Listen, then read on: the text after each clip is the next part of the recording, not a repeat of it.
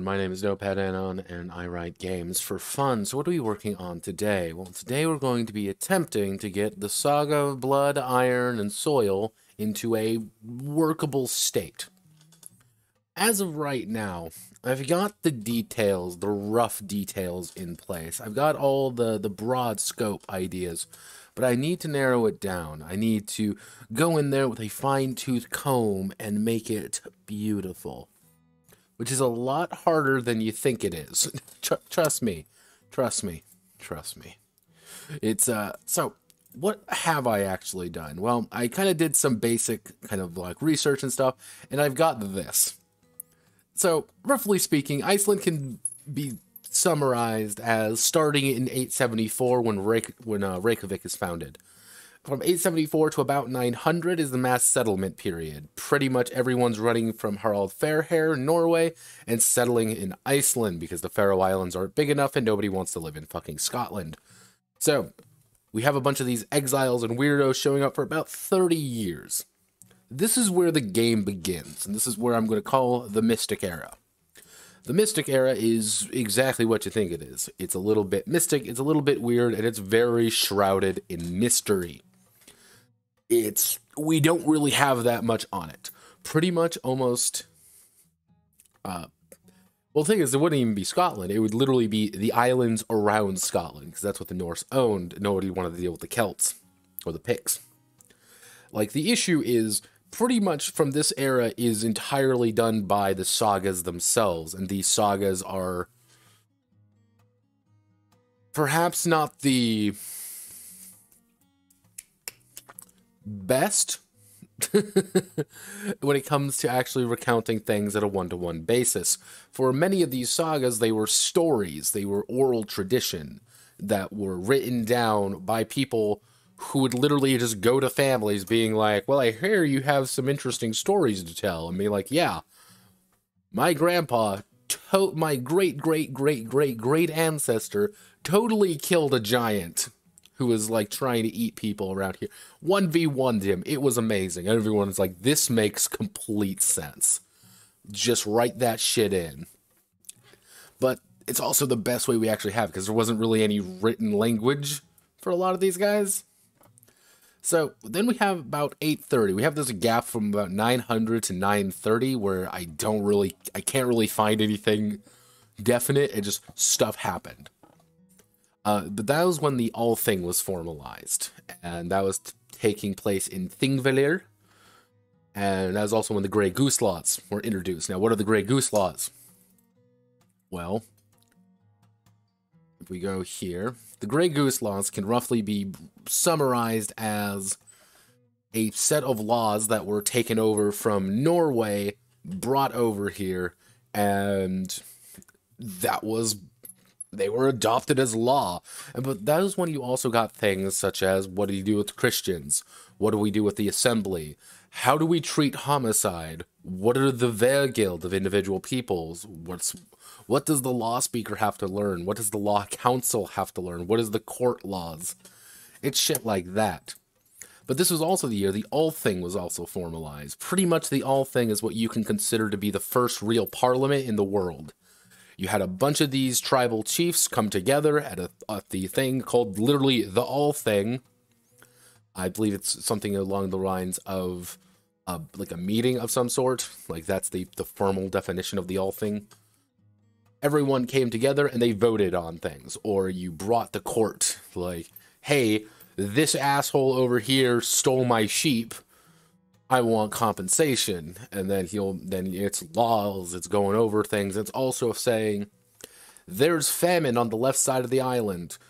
Can we get some assistance? And everyone's like, cool, yeah, let's bring over some assistance and you'll look good.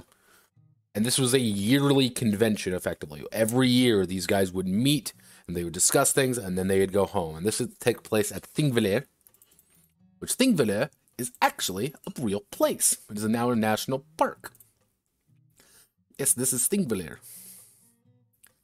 Uh, very pretty little location, but pretty much picture these guys erecting a a monument, and then the law speaker shows up, who is pretty much Here's where things get weird.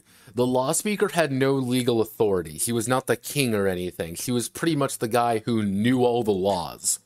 And he would arbitrate more than anything. He would say, well, according to the law, X, Y, and Z is the case here. And then according to the law over here, it's ABC. So looking at things from objectively speaking, you're in the right, you're in the wrong. But it would also be like, what do we do in this situation? What do we do here? He didn't have any real authority. He did, however, have kind of that um beyond authority. I think that would be like a better like a good way of even thinking about it. He had an authority beyond just I have power and you are weak. It, yeah, it's effectively like an elected arbiter position. And but he still had like significant influence, but he couldn't like order someone to do something. That is where a lot of the feuds take place, the blood feuds, and a lot of when we think of like Viking feuds and shit like that, it was because of these situations where the law kind of got a little bit wonky or there wasn't any good ones. That was the issue. Like if there isn't any good answer to it. Yeah, effectively Viking Judge Judy. Yeah. And uh, there are, are, actually a list. They actually have a list. I wonder if I can find the law speaker list. Uh, Icelandic.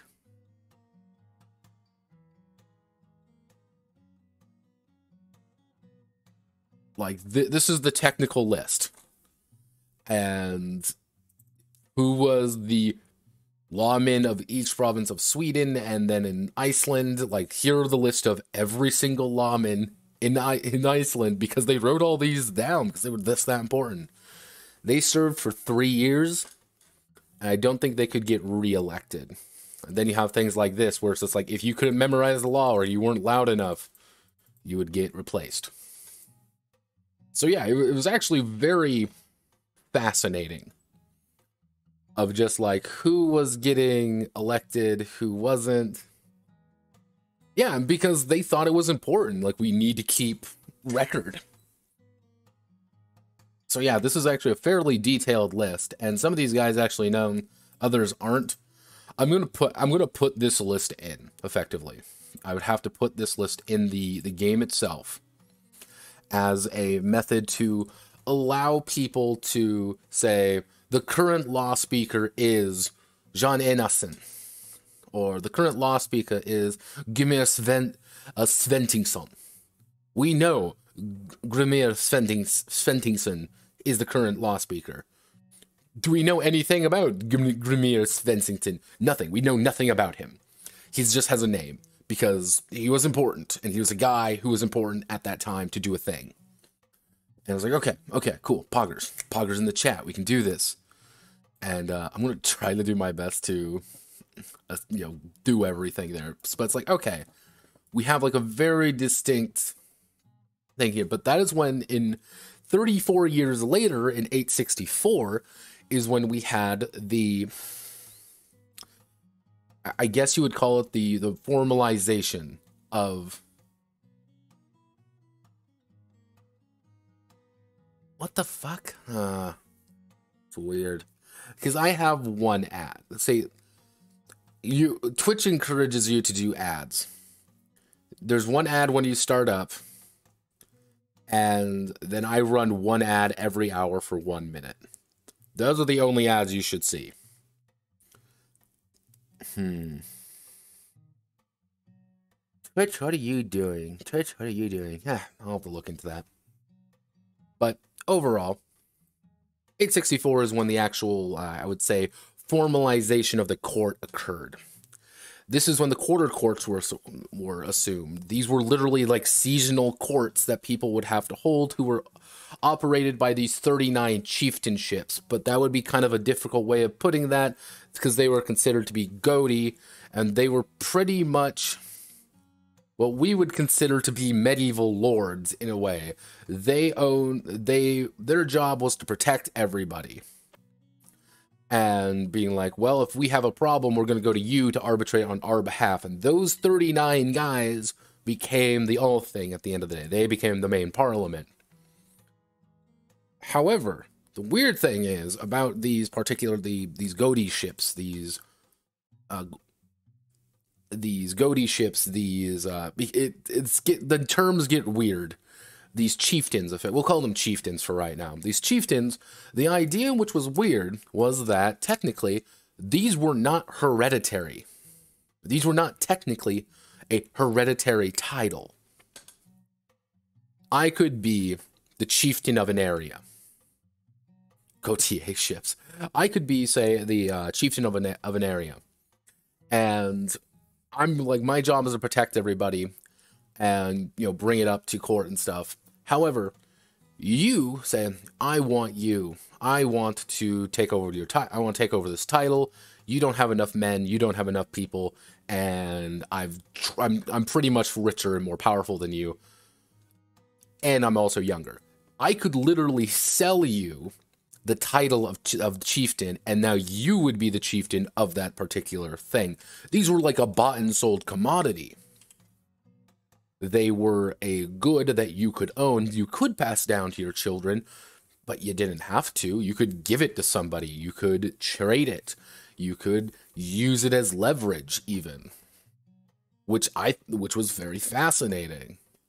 Effectively, they were noble titles that weren't noble titles which these led to the the the Varping in the spring and the Lied in the autumn, which were pretty much their local constituencies of they were local governments effectively of these 39 chieftains that they would have to hold every spring and every autumn at their own locations. But then we also had the farthings, which was the northern far- farthing, eastern farthing, southern farthing, and, and a western farthing. Each of those four farthings were kind of just based off the location. They were just cardinal directions, and there were a certain amount of chief, chiefs per area. Which, if there were a dispute in a certain farthing, they would have to either go to their chieftains to dis- to fix it, or they would have to go to the farthing court. If there wasn't able to, if someone from the east farthing fought someone from the western farthing or the north farthing, you'd have to go to the Althing court. It was this massive legal kerfuffle, effectively, of well, my chieftain, I'm I'm sworn to this chieftain, you're sworn to this chieftain, but we you're from the western farthing and I'm from the northern farthing. We need to pretty much go to the high court to settle our differences. It's that we've escalated the situation that far up. It's like, cool, awesome, we can do this. However, this led to it, it gets a little bit confusing. 864 to about 8, 965 is also when Greenland was settled. Because someone got exiled from Iceland and settled Greenland, which led to, in turn, Leif Erikson discovering um, uh, Vinland eventually. He was actually born in Iceland, and then and then his father, I believe it was his grandfather settled settled Greenland. His father formalized Greenland. He ran Greenland for a while, and then that's where he died actually. Then at 1000, we have the Christianization, and which was pretty much given by a law speaker said this is what we're we're appealing, like this is what we have to do now. We also have the birth of the first appeals court. And then in 1106, we have the formalization of the Christian dioceses. And then we have the Sturlung generation from 1200 from about 1262, uh, where the end of the campaign is, which all the chieftainships were owned by six families, which eventually went over to the Sturlung, the Sturlung family, who pretty much bent the knee to Norway and for power and resources and which the Old Covenant was signed, and Iceland effectively became nor part of Norway, in which turn was part of Denmark. This entire thing is a fucking mess. that is the rough history of Iceland. Now, there's a shit ton of things I couldn't really go over because it's like, well, this guy did this thing at this time to do this thing to do this. It's roughly speaking, I broke it down into four into three eras. We have the Mystic era, which is like who nobody really knows. It's completely shrouded in mystery. All we know is that it occurred, and this is roughly what happened. This is where we find, oh no, there are elves running around, we have to kill the elves. Or, oh no, a witch stole my son, We now need to go to the heart of the heart of Iceland to save him from the evil witch. That's where you have someone who's like I'm blatantly magical, and everyone's like, this makes complete sense. The law era is when like you could argue that the meat of the game. This is about 70 years, you could say, of the mystic side of things have kind of died down at this point. We're not fight. The elves aren't really there. It's Thorgrim's kin are over there. You're over there. We're not Christianized yet. We are able to raid. We are able to, you know, fight among ourselves, and we're kind of encouraged to do this. You know, if I kill your slave, you're expected to, uh, yeah, I'm expected to pay you a certain amount. You know, was this? What's the value of this person? What's the value of this person? this is the game game weird era of like when you're actually kind of doing the feudalism thing and you're competing over who's going to be chieftain of our area do we really follow him do we not follow him maybe we maybe we go with another guy or maybe you become the chieftain and you have to kind of manage those people around you who all want something different that's your family that's your problem then we have Christian era. The Christian era is when things start going uh, more centralized. I think is the best way to word it. You have these kind of distinct shifts in how we're doing things. It becomes a lot less, we're just going to fight now, or blood feud time, and it becomes a lot more subdued in a way. But you also have things like the family starting to kind of consolidate power. You have people trying their best to maybe spread the faith, but maybe not spread the faith. You know, it's about trying your best to get the amount of stuff out of it. This is a time when you become Icelanders. You know, up here, you know, Mystic Era, you were Norwegian refugees, effectively. You were Norwegians who fucked off. Didn't want to deal with fair hair. The Law Era is when it was like, we're Norse, but we're not really, we're all individual kind of people. Here, the Christian Era is when you become Icelandic. That's when you have, you've got 200 years of history in this these areas, and people are showing up. They want, they want a part of it. They want, they know, and it's also the time when about 1066 I should also should also put this about here. What we can do is we can put this right here. You can argue uh, there we go. About 1066 is when um, Harald Hard, uh, what the fuck, I cannot remember his name. Uh, Sterling, not Sterling Bridge. Uh, yeah, Sterling Bridge, wasn't it? Pretty much the Viking Age ends about here.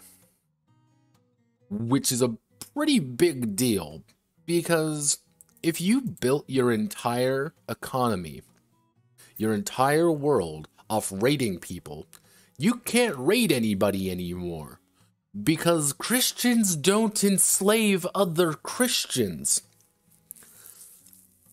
But that won't stop other people from attacking you. We have a lot more people. We have a lot more swords. We have a lot more fighters. Generally speaking, you are throwing. By this point, Iceland has a lot of people on it with who are willing to fight for you, who you're you can't work all this land by yourself. You need people to work it for you. And it's this kind of this bigger thing. You've settled down. You've stopped being raiders. You're now just people who live in a frozen hellscape. Have fun. But that is not going to say you can't have fun during those times. That's the entire point. You're supposed to kind of engage in these more uh, devious affairs. But yeah, this is the this is the rough timeline of Iceland, which is a little it's weird to think about when you say like, yes, this is the history of a country. Now, mind you, I'm not going into like here. Um, there are a few videos that go over uh, the history of Iceland. The Christian era, you can kind of say that the Christian era is very much the like all the shit that happened during these eras all come back to bite you in the I'll come to back to bite you in the ass during these ones. You didn't get those chieftainships and you aren't really that powerful?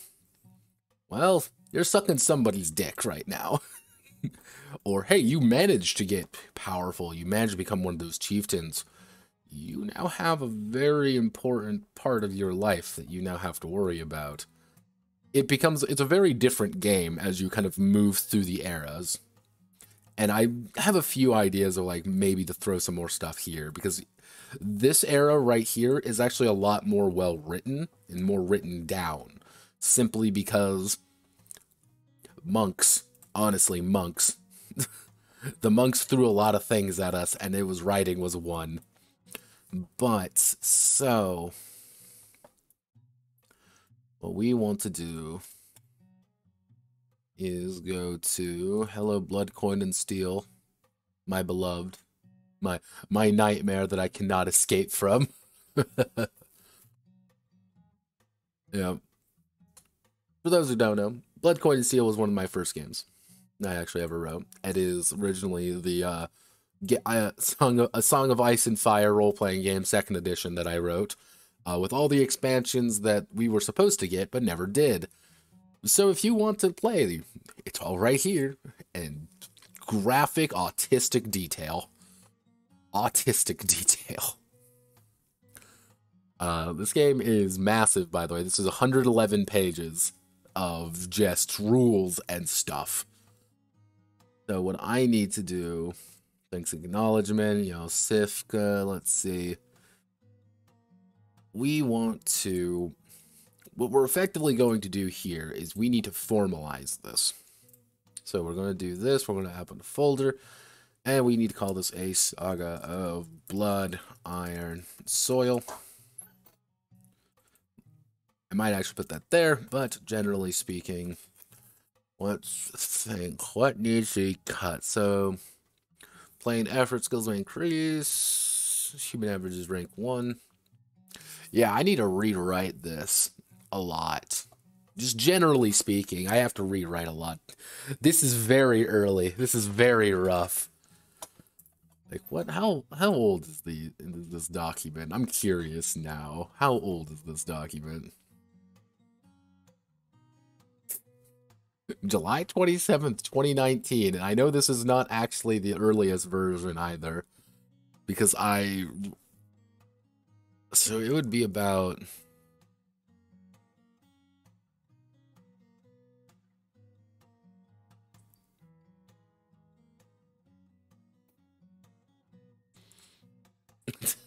or uh, what if I wanted my clan to still be a bunch of raiders, still a way to reach the Muslims? I don't remember when they took Spain.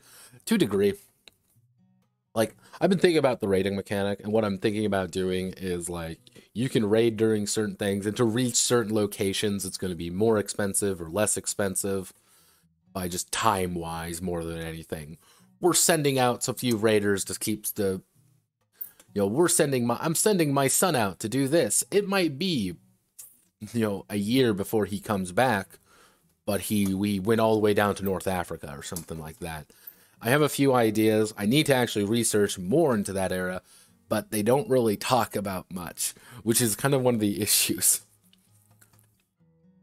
It gets really messy during that time because they talk more about Scandinavian history than Icelandic in particular, and then very quickly they're like, we got conquered by the uh, the, the, the Norwegians, and then 18 in the 1800s, it's like, oh, oh no. uh, let's see, legendary file, Charles Martel. So what we need to do is what we're going to do is we're going to call this. We're going to call this the rough the rough and ready document. We're gonna, yeah, we're literally just going to call this the rough and ready. This is going to have no formatting, no anything. This is just going to be me taking bits and pieces from locations in this book to just say, I need this, I need this. because do I even have play? I don't even have I don't even have like a how to play section in this game for some fucking reason. I don't know why. It's in character creation and then what? Oh yeah. to actually play the game, you have to learn about character creation first, and then you get the skill checks. This is how to play the game. Notepad, what were you doing? Notepad, what are what are your what? Why are you the way that you are, Notepad? Uh, past Notepad was not a very smart duck. So, see, most of the char most characters are going to die around here. But this seems about right. We can probably... Uh, we need a new term for destiny. There's actually a very specific term for destiny. which it's weird because Iceland does actually have a have a point in history in which they were raided by Barbary pirates. Yes, the Barbary pirates came up to came up to Iceland and raided them and took slaves. And it was like? And even I was like, like that sounds ridiculous. I checked. Yes, it, it did occur. Just because they had no way to defend themselves. Uh, let's see. So most characters are going to be about a young adult. So yeah, these are what's benefits, drawbacks. Okay. Uh, character creation is exactly the way I would want it. Skill checks, destiny. we do this. Again, this is not not really formally writing anything down here. I'm just putting what needs to be put down here. That's actually a Beowulf. So, actually, what's the Norse destiny word? Vid. Yeah, because it because you have the it's consulting the Norns. The Norns were the ones who pretty much gave you your fucking destiny. So was it just called Destiny? Was there the Jotunheim? Jotunheim?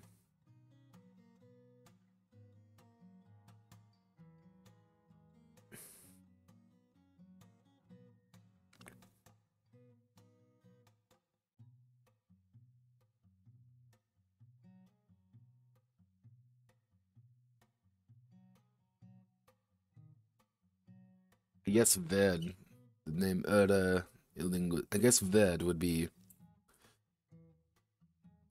the correct term would be would be this. Like it, if technically speaking, it would be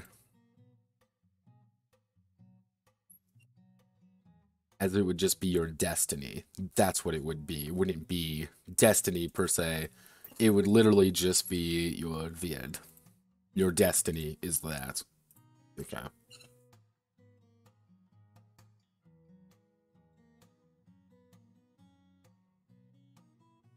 Vid. Uh, let's see. D6 to a skill check. Because skill checks are just going to be 2d6. Because I need to make this simple.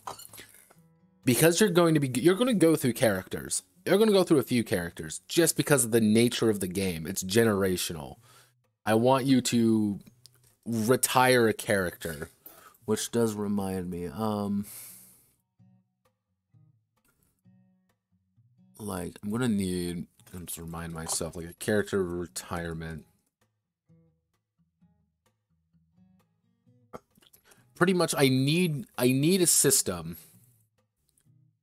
to say you want to be retired. Like after a character, you've kind of finished with a character, I want you to be able to retire them and just their story has kind of come to an end. It, they might not be dead, but their story has kind of run its course.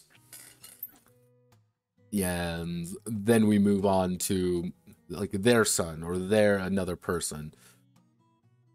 Of course, you can also end a character's life by just having them die because, you know, dying sucks. Mm. Let me see. So, characters are not immortal.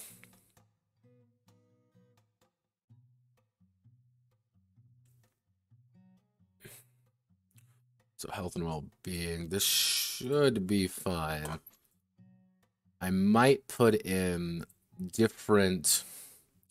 I honestly might put in slightly different willpower and composure because the idea is, since this is taking influence from A Song of Ice and Fire, there was the it, there was the um intrigue mechanic.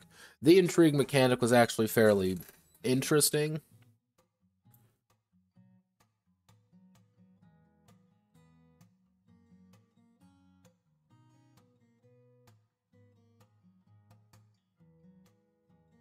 It might actually not be a terrible idea.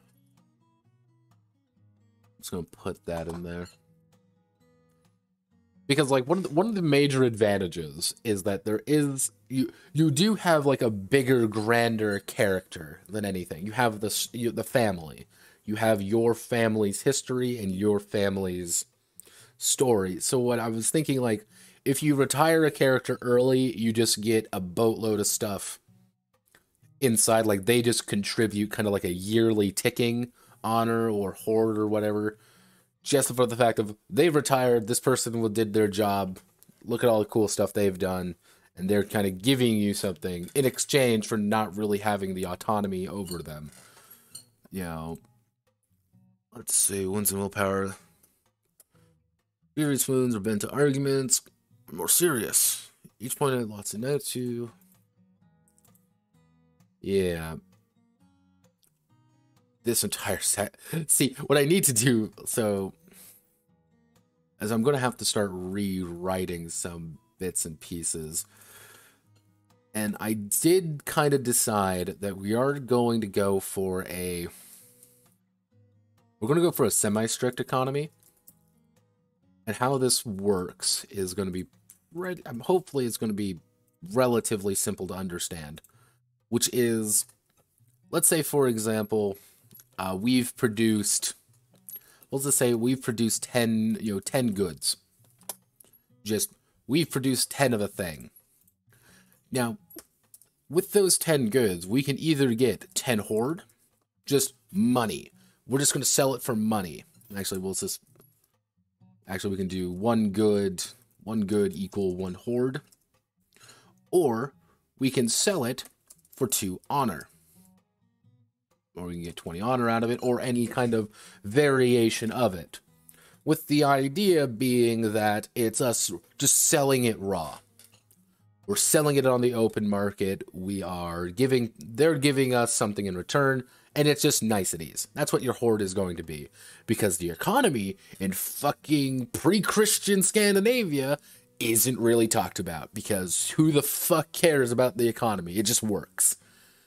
And it was kind of like, it's from what I could gather, the Hoard system was very much derived from stuff you have and your ability to kind of negotiate more than anything and be like, well, here's some fanciful gifts and shit.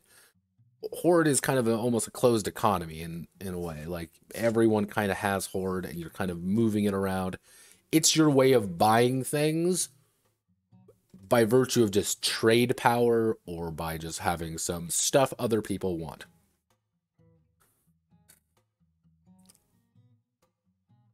Oh, 4E does that? Oh. See, I I love see here's the thing. I adore Warhammer Fantasy Roleplay second edition. I love it. One of my favorite games of all time. I have not read fourth edition. I need to read fourth edition. I have the book, it's right there. And I've always wanted to go over it. I just never. I don't know. Maybe it's just my nostalgia goggles. maybe it's my nostalgia goggles. But yeah. I've heard good things about Warhammer Fantasy Roleplay 4th Edition, though. I've heard a lot of good things. But as kind of the idea is honor is you giving this shit away or it's you selling it kind of under. You're not really making any money or anything off of it. It's well of course friend. Here's this or like you're a good tradesman or you're a good person. It's pretty much you giving goods away not for actual like money to be used but for more of like good boy points.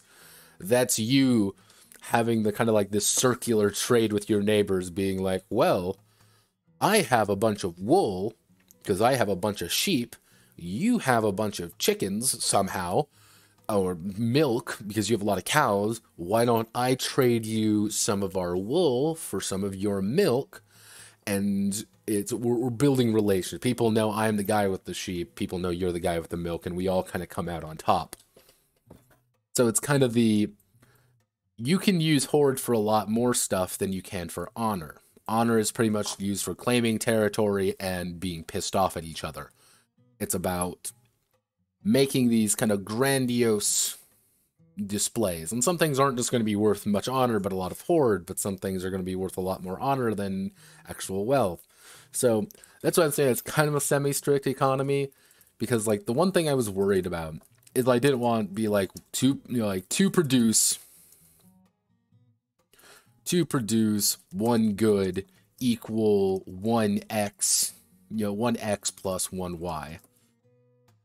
I didn't want to do that because then it'll just be micromanaging and that's going to drive people in fucking sane.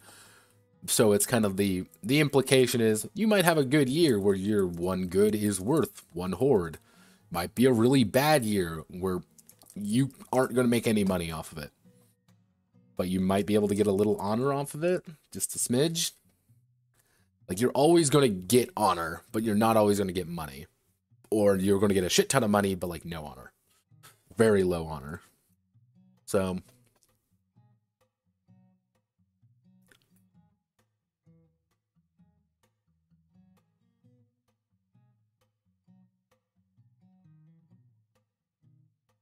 it's I saw the art. I'm I'm mixed on it.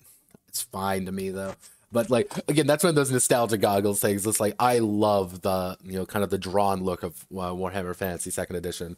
Oh, I love it so much. Uh, let's see it. and that's see. Here's the thing. Here's what I've told people when it comes down to it. Is a lot of those art pieces when people are like boo-hoo they have a black person or something on the cover. Remember that this is that is not a like a conscious decision half the time. That is a we have a boardroom. There is a boardroom meeting that says we need to do x y and z. You are going we have to put this in here because if we don't we're going to get crucified. So i don't really I try to just throw my hands up and say, I'm not going to worry about it. I'm not going to think about it. I'm not going to even debate it because that is that's just the nature of the beast these days. You got to do that to have to do that. That's why I usually like in some of my games I try to at least throw at least one woman in there just for the fact of like here's some diversity because that's just kind of how things go. It's not I'm not going to blame them. I just care about your rules. But uh, abstract stat to roll against rather than a tangible resource. That's kind of the that's kind of the hard part when it comes to like the honor economy because how do I want to word this? It's not necessarily like a single person it's kind of your it's the family perspective and i want it to be you like you have this resource to really kind of think about without it being abstract or too random. But also not like this is one of those moments where you look at it you're like there's no good fucking option for this. And most of the other games as it right? Women should be treated as property Blood Feud does have some interesting opinions on women. Um, I'm not gonna not gonna humor them very much, even though that video is still hilarious. the fucking puppets, the Viking puppets from che- Chechnya. Those are the ter- terrifying fucking things I've ever saw. To a degree, because like one of the ideas is if you be the apex male, if you become the giga male is and you retire that character, they're going to be worth a lot more. Which again, because you got to remember, there's concubinage. Like concubinage is like a, a distinct thing in this this world, this setting, these people. being able to like sail to fucking Ireland, kick down someone's door, see beautiful peasant woman number 43 being like, hot diggity damn, my wife is gonna fucking hate me. Throw her on your boat. Cool, I've got two wives now. they hate me, but who cares? Pretty much like what I want to do is men are very much able to generate a shit ton more honor than women. However, the, the main catch is women can influence those men very heavily. And I actually have a very, um, I wonder if I have the note on women in this one. I do have a note where it comes to ah the history book right here. Oh, do I not have the do I not have the women section? I don't believe I do. I feel silly. But there are ah, uh maybe we have like bastards and where are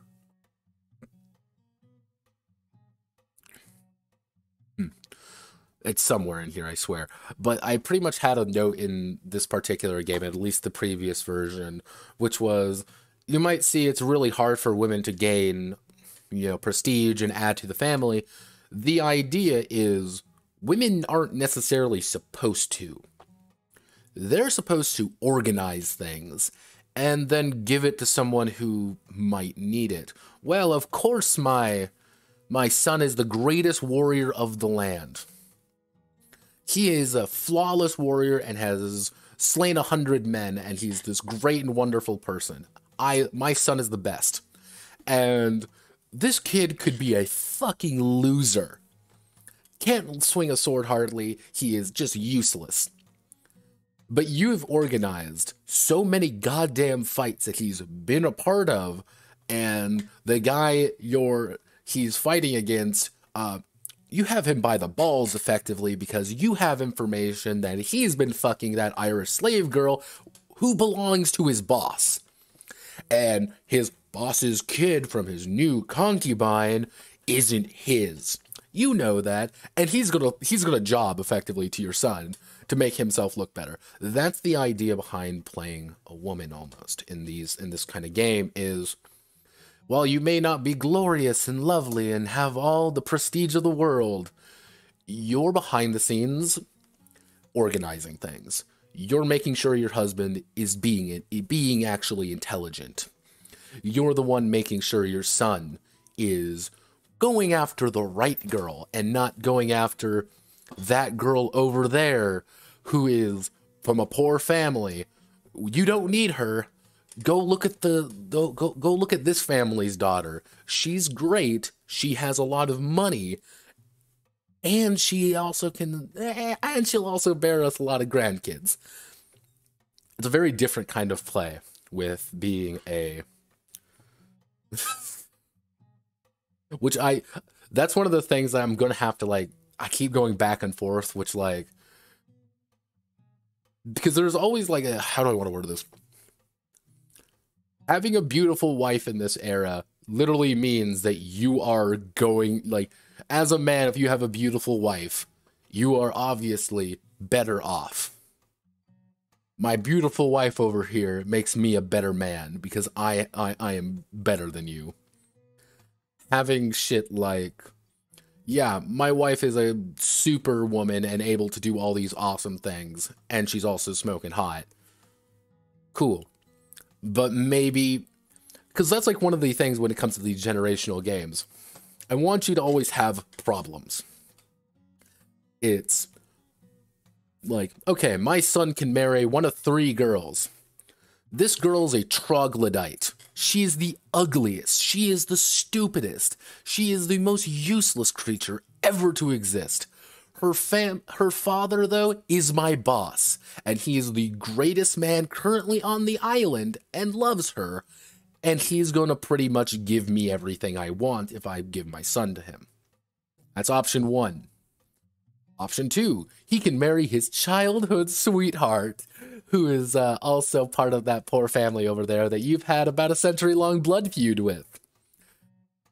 The fact that they met is a problem. The fact that you're even considering this is a problem. Why haven't you killed her yet? Option 3. The reliable girl across the way. She's a Norwegian, she's Norwegian royalty. She does not speak your language. She is not very smart, but she definitely will produce children. So it's like, what do you what's the what's the thinking there? And that's an adventure unto yourself because what if one of the player is actually playing the son? What do you want? Maybe you can actually make an entire adventure. Yeah, why why can't you make an entire adventure about pretty much being the son and his friends saying, screw it. If I can't have her, technically, I'm going to kidnap her. We're going to go to their farm in the middle of the night. I sent her a letter, and we're we're going to kidnap her, and we're going to rush back home. We just have to in and out. It'll it'll be real easy. After three, after two of your friends end up bodies, and you have a fucking arrow through your leg, you, she's fine. Everything's fine, but you sparked you sparked a war. Or maybe you're playing the father and the mother and you're like, my son's a fucking idiot. Why won't he marry the right girl? no, that can you be my Viking mommy? No. it's these games really do demand a very certain kind of character, very certain kind of thought process. But let's see. So this is not. Hmm, that isn't flawless, and that's so. Then we have our benefits and drawbacks. So this is this is going to be my favorite part because I get to curate all of this. Because this is a massive undertaking here. Because I implemented across almost every single one of the expansions, every single one of the games, pretty much of benefits and drawbacks and problems that you have. So let's see. Uh So okay, we okay, this is fine. Like we have So let's see. We have our benefits. Total suit of armor, penalty over their shield, stand behind me. Blocks all damage and does not consume phase. Throws themselves into a rage while fighting. Berserk. Uh,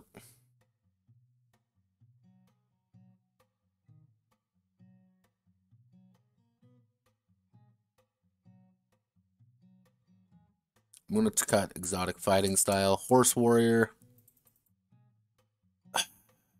Let's see, actually. Viking horseman.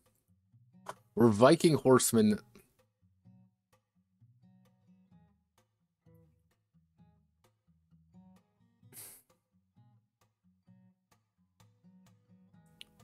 Okay, they weren't really war horses, though. They were more like traveling horses. Viking war horse? I...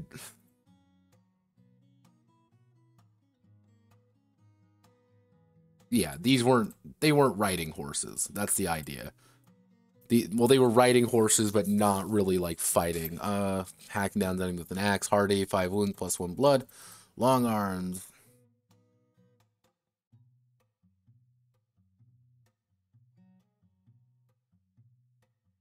Uh, yes, this is the this is a game where being a eunuch does have its disadvantages and advantages because th- again, this was born from a uh, you know, a um, a Song of Ice and Fire, and it was it was necessary that somebody be able to play Varys. It was necessary. Someone wants to play the big fat bald man who's actually a merman. So let's see. Uh, bows name will take. Vikings did use bows. Beast of a Man, One Man Army.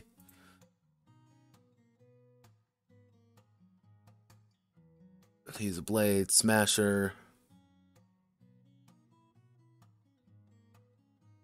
With a dozen men.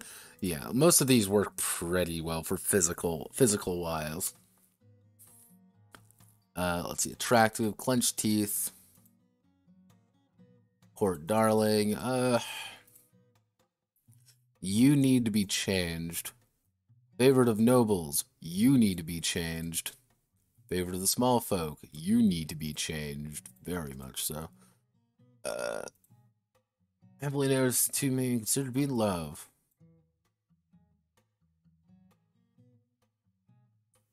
You're fine. Head of the family. That should work, though. With words, that's fine. I'm with him.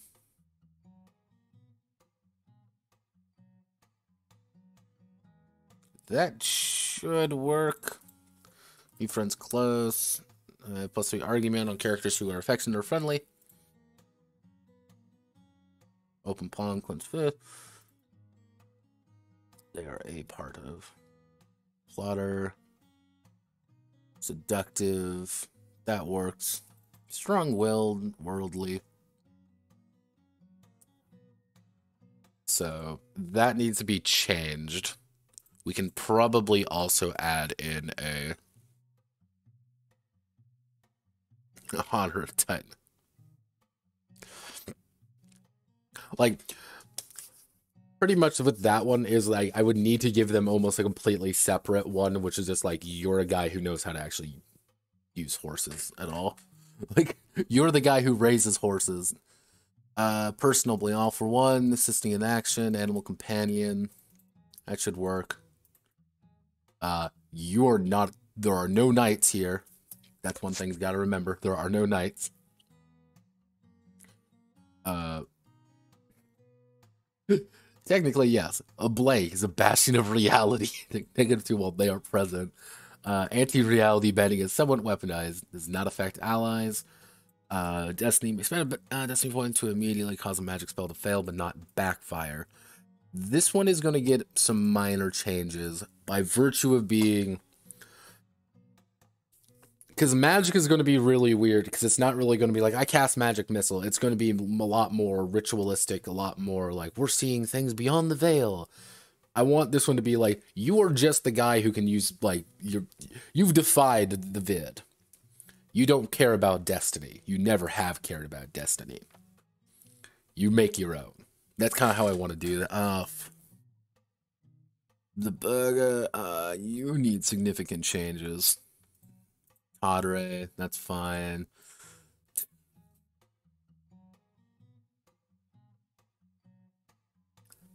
Blank they aren't called blanks, but there are people in Game of Thrones who are like by their very presence kind of fucks with magic. It's literally like a one-off line in the fucking book in like a fucking comic book. Be like, "Oh no, him being here has disrupted the magic." It's stupid. Game of Thrones is stupid. So, let's see. Yes, childbearing hips was a technical option. And this is actually very important for the mother's health roll because if you have a poor health roll, you have a good chance of just dying. Uh, divination has visions of the future, influence future actions. Elder, high respected individual.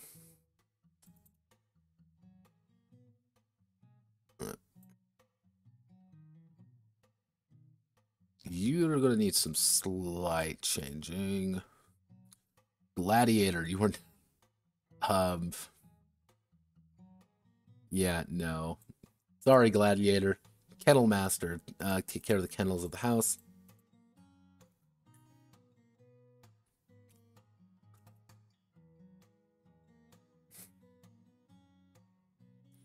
Uh, multilingual. One for all. No, fantastic assistance. Do I already have one for all? Oh, I have all for one and one for all. Uh, power couple or power couple self-congratulatory. Uh, yeah. Servant lover, squire. Okay, we don't need you. You are not a going. There's no squire. Sworn sword's fine. Tourney knight. There's no knights in this setting. A unique weapon, virile, yes. Uh, skills, brawler, that's fine. Active, famous. Ah, we can use that. Healer, healer skills. Noah man. Uh, leader, uh, magician. Magician's to change because you're not to be a magician magician. You're to be there is a very particular thing when it comes to Viking like I have magic. I had to go too deep into Game of Thrones. Too deep. Reformer, pious, faith skill. Uh, again, you're going to need to get changed because we need to separate Christian from non Christian. We also have Little John. Robin Hood and Little John looking for the woods. Yeah, Sailor of the Sea. This might. I'm going to put a note for myself here is make this default because I'm debating on saying all men can get this skill, all women will have this skill, kind of with the uh, with the basic assumption that like men and women are expected to do different things. A man is supposed to fight in, in Norse society. A woman isn't. Not to say a woman can't learn how to fight. It's just going to be a little. It's a little bit different. But if your farm is five people you know, if you live on a farm kind of in the middle of nowhere and like wolves show up every now and again, or like you're not you you're kind of in a feud, you want your daughter to at least be able to know how to defend herself. Uh survivalist. Yeah, like a few of these I'm not too sure. Childhood disease, that's fine. Crippled.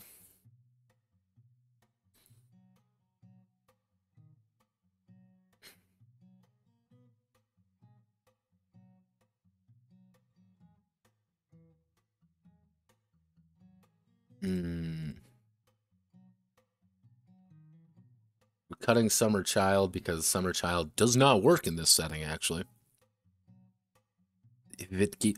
That's like there's a few terms that could work. Like like technically like this would be one of the more accurate terms but technically even like Godi like Godi is supposed to be like a you're a mystical person oh no like that also has its own thing. It's like uh uh let's see, alcoholic. Actually. Let's do physical drawbacks, paired sense. I'm gonna cut risen. So boring personality. Uh breach of conduct, Demon Eye, reputation smeared into oblivion, dull, not all that wise. Easily convinced. Uh, eunuch. Yeah, that is the one advantage of being a eunuch. You cannot be seduced. You have no penis, but... Uh, let's see. It's easy to anger and has... Plus, uh,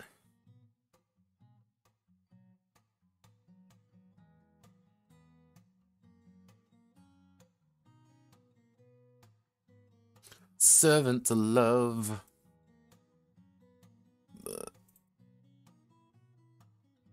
Terrible scars, threatening, unmoving. Alcoholic, barren, bastard born. Craven. Criminal is a pretty big one. Demanding lover, dependent.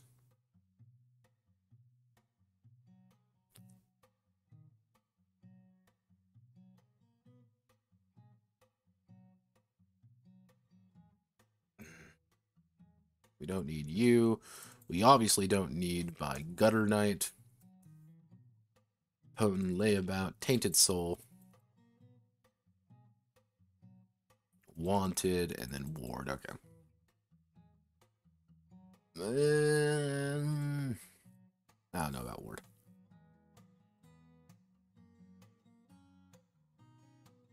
I just realized I was doing this into the the actual document, not the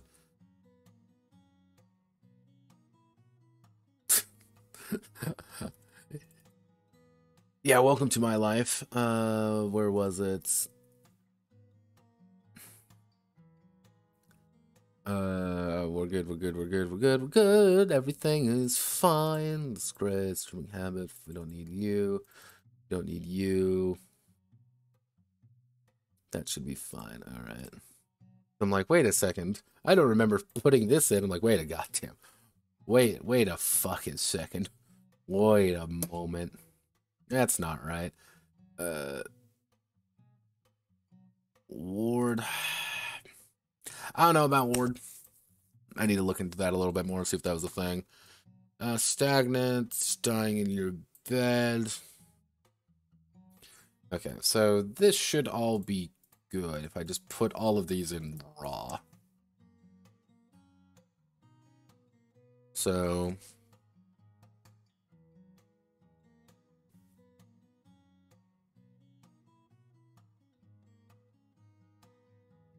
guess alcoholic is a good term for magician too. If you want to be an alcoholic wizard and being like, "Don't worry, guys, let me perform some magic for the families," you fall over on your face. Divination. I'm like, yeah, no, go for it. Like, I leave it really up to how you want to do things, and of how you want to build your character in this particular system. Just because it's so diverse you know, just because you ain't got no penis doesn't mean you can't still love. That's a big thing. Is you can't be seduced as easily. Like so, a, a woman can't just you know go up to you and be like, "I'm seducing you now." You can't do that. However, that doesn't mean you can't fall in love, and maybe that's an entire problem unto itself. Hey, you love this person. They you love this person, but you can't really, you know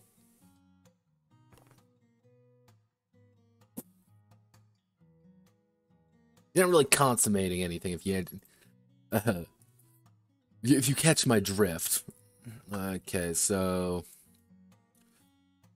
so yeah, no, it's yeah, old character every year. Each year must make a target number ten endurance check. If they fail, they may burn destiny to avoid dying.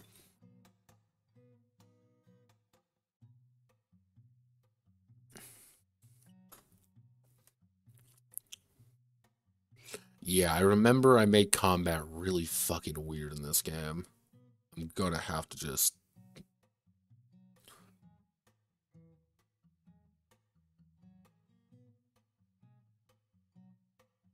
Everything should be pretty one-to-one -one there. Because we got the war system in place. Okay. So roughly speaking we use the raiding because the raiding economy is going to be the best idea because if you raid and you actually go a Viking, you have the advantage of get both. You get both hoard and you get honor. You get both by doing it. So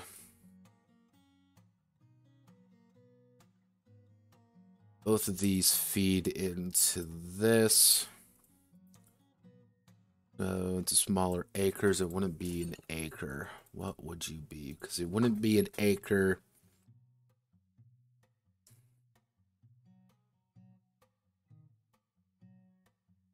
Because, fun fact, the Norse didn't have, didn't write this shit down because I'm like, we don't need this. This is fine.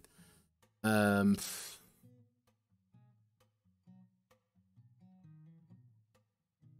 uh, let's see, 40 yard lens.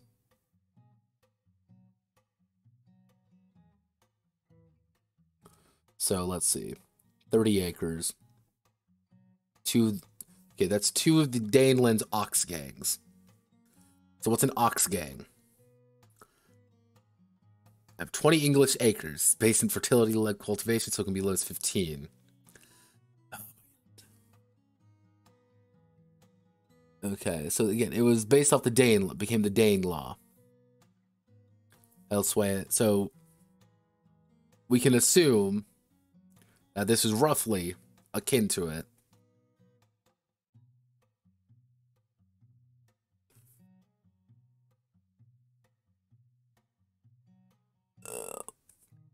God. To Grotlands. Okay, so... Okay, you want pure autism. You want pure, beautiful autism. Because the thing is we need to div divvy up the land. That's the big thing. Is you need to divvy up the land so people can claim the land, so people understand, like, I want this, I want that. That's how it works. how do you how do you divvy it up? I originally thought like an acre would be fine. You need like two and a half acres to feed two fucking horses. Acres are not going to be enough. We need something like above an acre, but below a huge amount. It's like, uh, ah.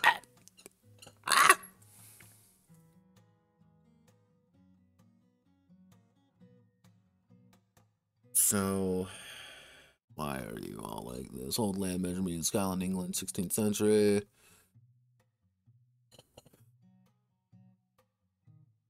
So it'd be about 30 acres. Equivalent to two of the Danelaws ox gangs. So if we use an okay, so it would be a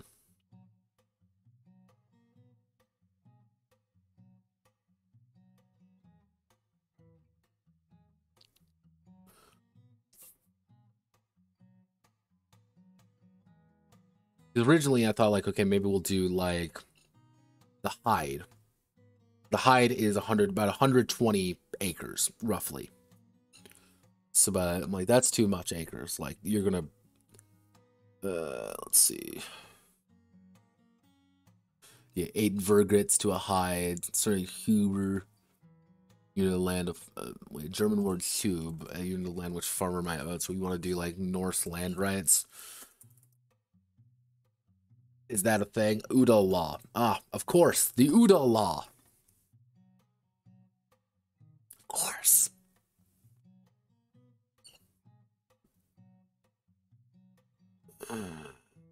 No. Ancient Norwegian property laws. Okay, so this is two Norwegian property laws so ancient that the enactment of was lost. Govern Norwegian property. They are the assessment, the homestead right, and the two rights are important that they include the Constitution of Norway, the real property, the Udal law, the Odel. I fucking hate everything. I hate, I hate farming. Uh, Jesus Christ, how horrifying. Welcome, everybody, to pre pre written land rights with Notepad Anon because okay, so okay, so let's let's do this right. So a hide is sufficient land to support households, traditionally taken to be 120 acres. So 120 acres equals equals one hide.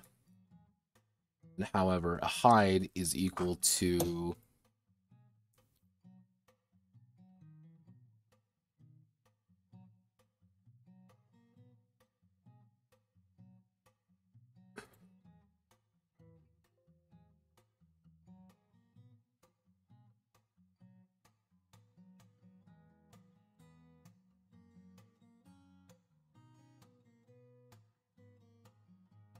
Million plow team eight oxen could pull.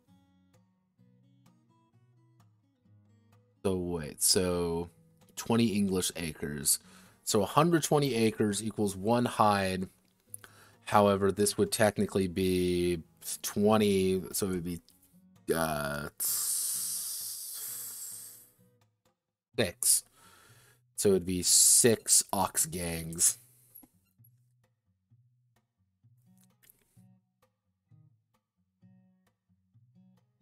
So apparently this was enough to feed a family. Ah, uh, jeez. How was pasture? Maybe pasture pasture land? Because that's how everything would have to be measured. It'd be pasture land.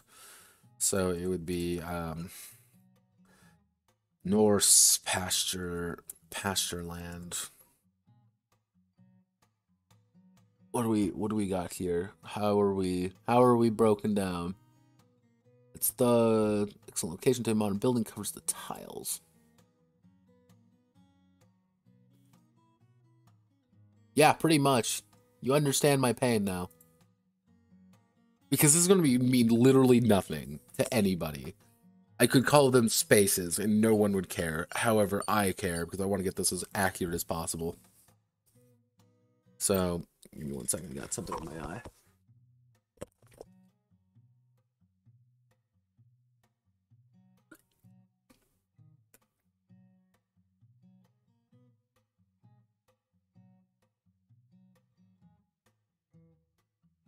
Hmm.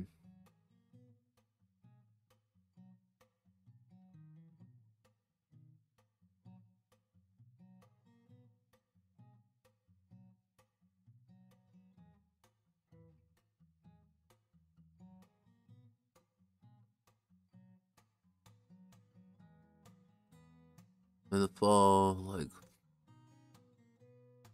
So how big were how big were the pasture lands? That's all I want to know. Uh, lived on small farms. They saw wildly from one region to the other. Clusters small farms tend to be clustered into small village or hamlets. Most farms were well separated in Iceland. Nothing like villages existed. Typical farm settlements formed cultivation or grazing. The homestead consisted of a long house and multiple outbuildings.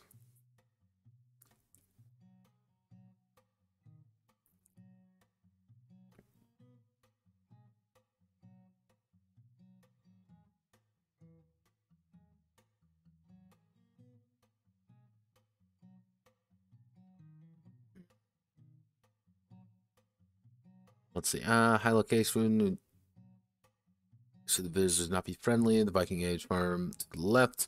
Signal fires. Uh, this farmhouse in North Iceland near a river was too exposed, so he moved his farm up the valley. The main farming cattle raised for many purposes. Had stalls for 18 heads of cattle.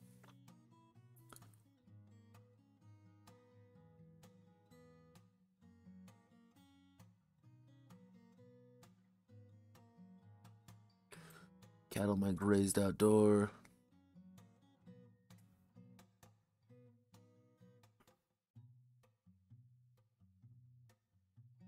Sheep. We love sheep. Let's see. Higher pastures.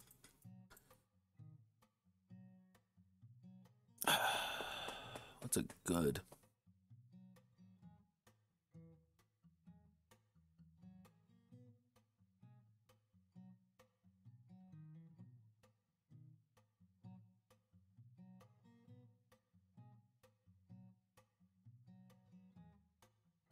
How big? Give me acre. Maybe like okay. Um. Used to be a large farm required 20 to hectare, so about 50 to 200 acres to be set aside for hay cultivation to keep their livestock alive during the winter. So roughly speaking, if we use this as our basic, so it looks like you need well, if we do one ox gang equals 20 acres. If we split things up into... Do we have something above it? Let's take really around 15 acres, so...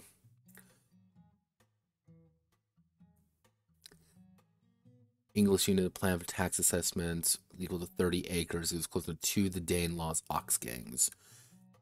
Two Danelaw ox gangs equal this, or bovates parallel division of. So, let's see. If we break it down to here, because if this is supposed to be one Virgate equals about 40 acres, if we break it, okay, we break it down into ox gangs. That's how you expand your territory. It's you grabbing more territory per area. So if we make each square roughly 20 acres and we want an individual section being, say, let's say, for example, we want a location to be 10 by 10 would be 100 squares. So that would be 10, 100 squares, so 100 ox gangs would be 2,000 acres. 2,000 by 2,000 acres is roughly about that. So let's say about 10 by 5, like, what would 2,000, like, what 2,000, so 2,000 acres, what would that even look like? That would be 2,000 acres. How much are 10 acres in football? How much are 10 acres in football fields?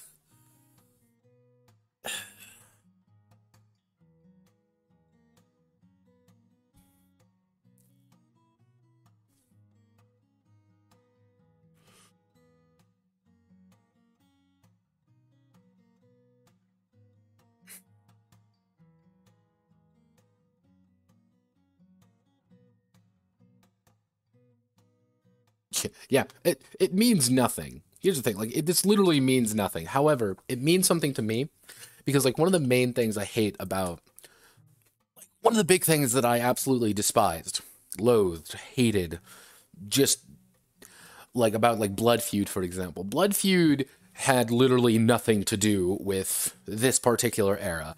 They just wanted to talk about things so they could slap on a particular word. There was no, there was nothing there. However, you also have things such as um, Saga of the Icelanders, which kind of did the same thing, which it doesn't really matter. You just do it, it just works. So I wanted to specifically make this as detailed as possible.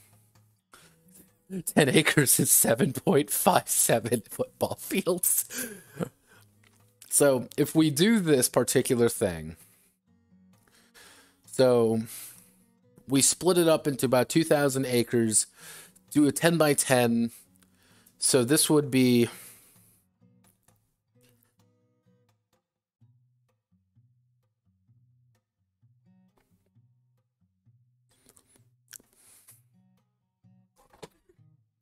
trying to get like a.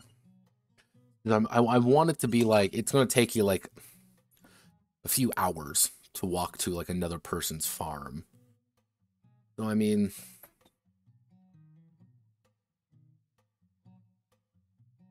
uh, we're getting real jank right now. We're getting real jank.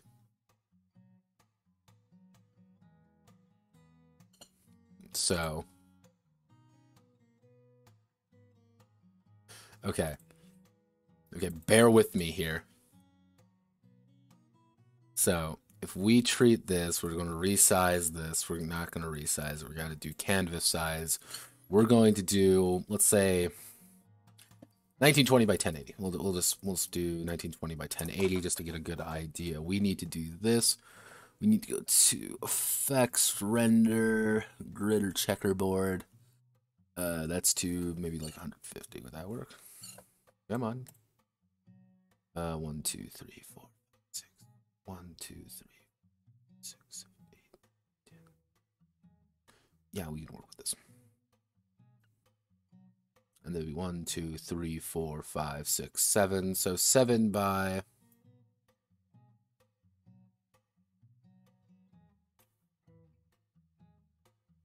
So roughly speaking, this is one. So this is seven. And 1, 2, 3, 4, 5, 6, 7, 8, 9, 10, 11, 12, 13. So this is 7 by 13. And if we're doing these ox gangs wise, so 7 by 13 would be... I'm trying to actually get like a good... like If we're doing this by ox gangs, 7 would be 140 acres by um fuck it would be 13 times 20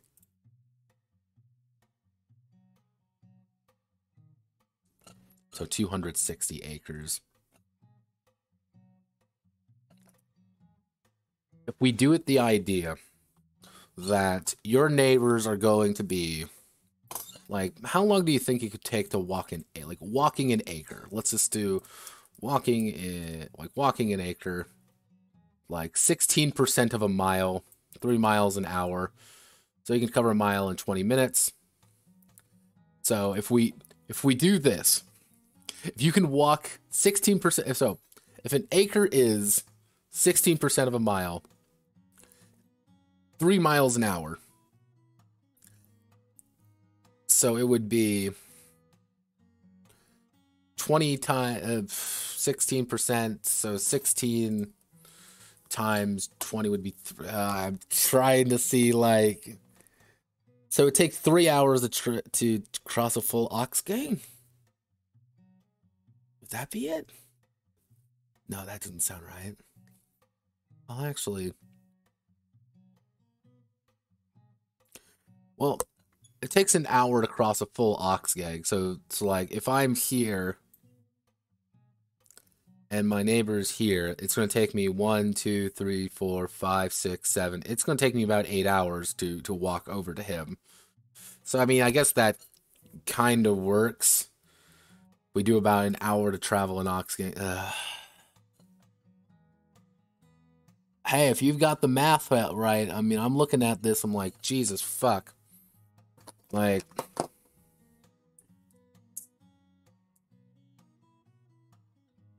so yeah, so okay, it's 0.4 miles on it, like 0.04 miles. So 0.04 miles times 20, because again, an ox gang is 20 acres, would be 80? No, it'd be 8. More. Am I a fucking... Can I do math, please? No, it'd be 0.8. It would be 0.8 of a mile. So 0.8 of a mile is equals one ox gang. Just going up and down. So just raw going side to side, and takes you about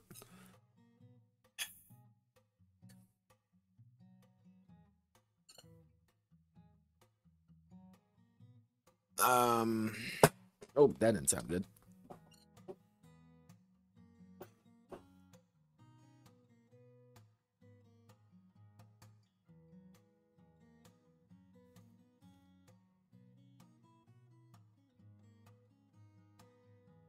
Four, then it'd be 20.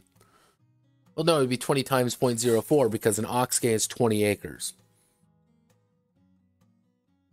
It wouldn't be 0.17 miles because it's 20 acres. If you tw- actually. Ah! Yeah, no, I'm, I'm, I'm thinking like, I'm thinking in like squared space, not what I should be thinking, which isn't correct. So if you would only, if it's 20 acres, uh, it would be five by fucking four, four by five. So you'd have to, the, unless you do like 4.5, so technically it would be like 4.5 times 0.0. Yeah. Uh, like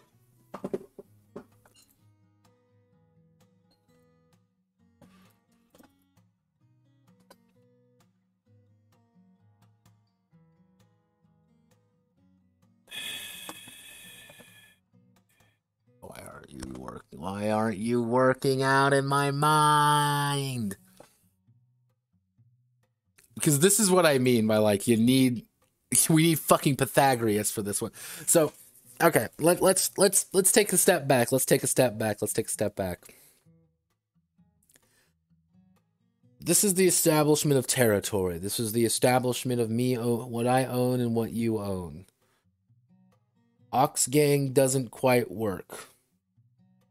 But maybe we go. Uh, I mean, we guess we can use Ox Gang, but it would just be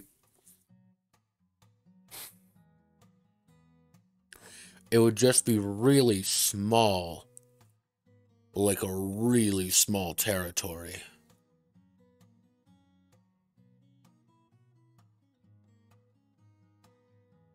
But is that a problem? Like, like, is there a term? Like, is there? There's got to be something to work with. Because if it's a hide, is 120 feet. If we go, do we go under hides? Because that's 120 acres. And which was defeat a family, but if you do this, it would be...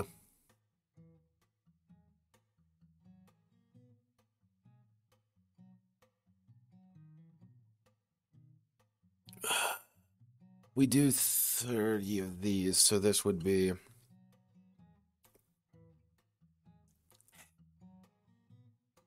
yeah, it'd be 0.43 miles aside. But arguably it'd be too large. Because the hide's pretty fucking big. It's 120 fucking acres. So maybe. So maybe, let me...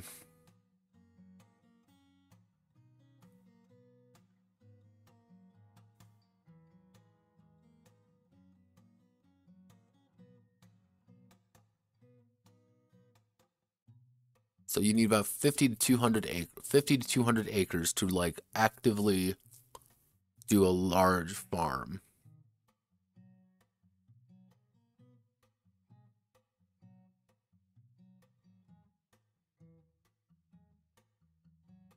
I wish we could have a. I wish there was a fucking map that you could consult. Like, how far away were they? But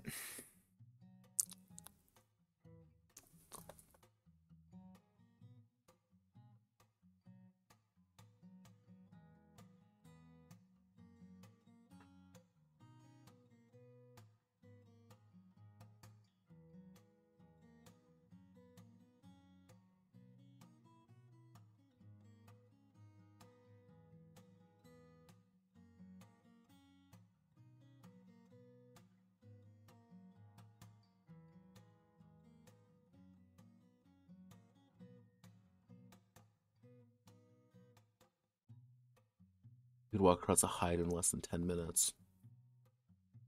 Yeah, but a hide, again, a hide is 120 acres.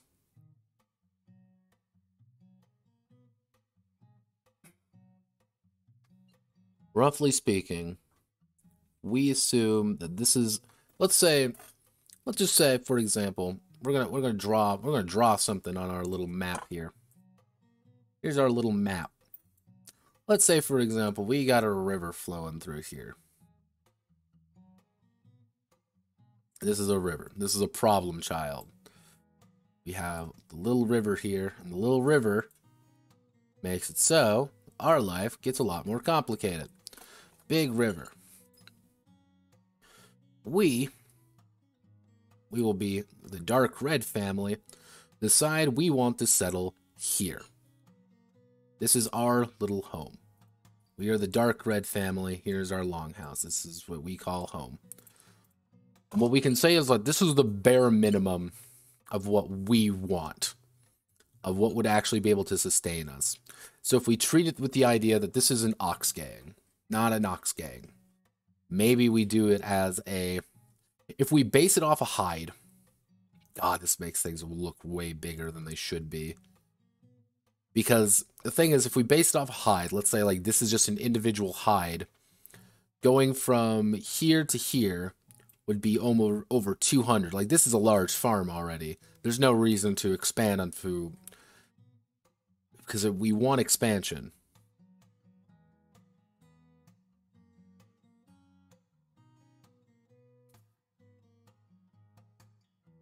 We want to encourage people to expand, and we want to encourage people to get into fights over territory and over land.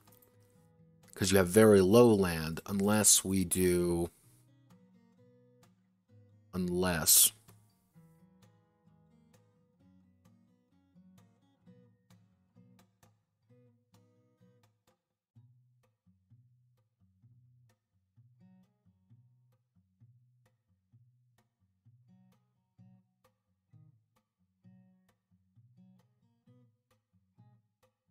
and actually if we go under 30 acres to the big red it's similar measure you know knows the so 15 acres. Carucate was 120 acres. So actually, if we use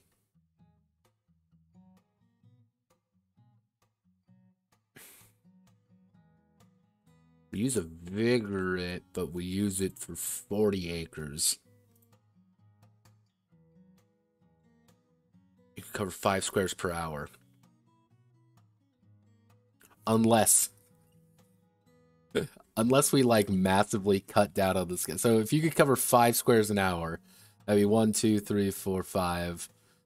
And so yeah, that would be that's a good that's a good amount of distance.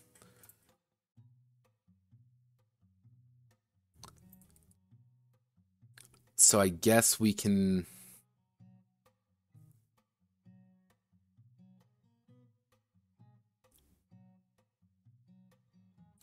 if we do 40 40 acres of land. To get 200 acres of just raw land, you need one, two, three, four, five. Unless we do like, uh, unless we literally invent a new unit of measurement.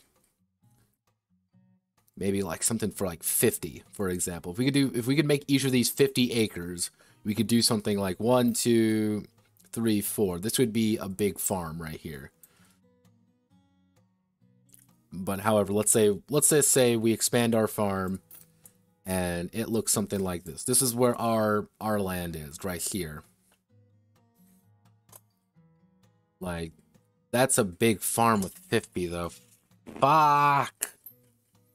Fucking hell. Unless we unless we do something very radical, uh, which unless we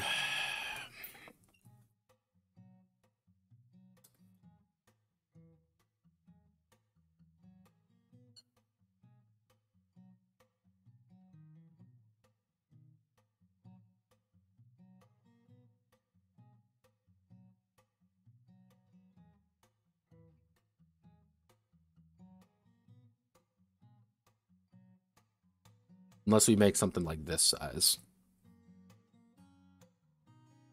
Make each of these two about so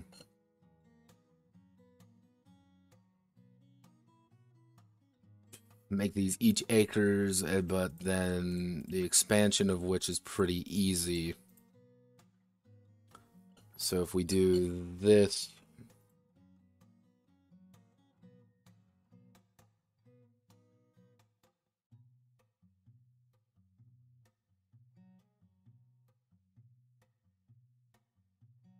then we're not going to run into conflict with each other, but we want a conflict. Unless we have, like... Hmm. Each square is 200 acres, so... 200 acres equals 5 hours of travel by foot, roughly. So divide that down, that would be about 40 acres 40 acres an hour, if I'm doing my doing my math right. We do 40 acres an hour. Like, yeah.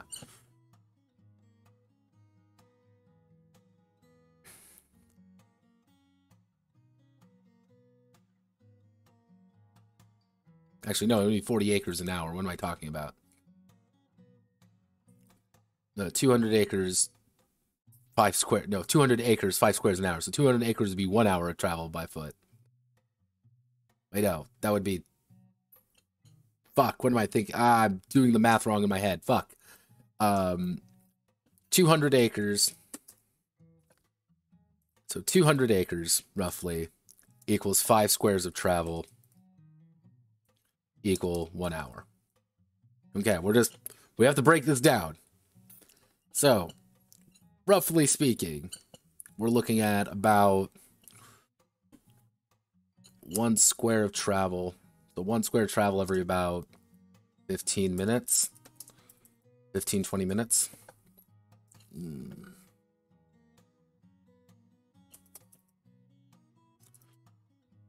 Yeah, I, I know. I'm, I'm just looking at like faces and numbers, and my brain is fucking melting right now because I knew this was going to be the hard part. I knew this was going to happen. Unless we do something. Because the thing is, if we do 200, so if we assume 200 acres equal one square, equal one square, not 2,000 acres, that's very different. 200 acre equal one square equal one square every about again so equals about 12 so about 12 minutes of travel. So yeah a, a brisk walk. We're actually hauling ass kind of thing. What can we actually let's do let's let's consult google. Google i have a question. How far how far were icelandic farms from each other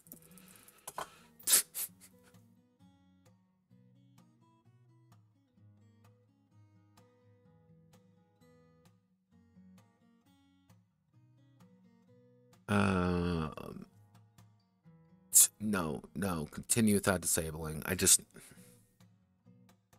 All right, strategy for food for one's family, wealth, social standing, uh, husbandry. Okay.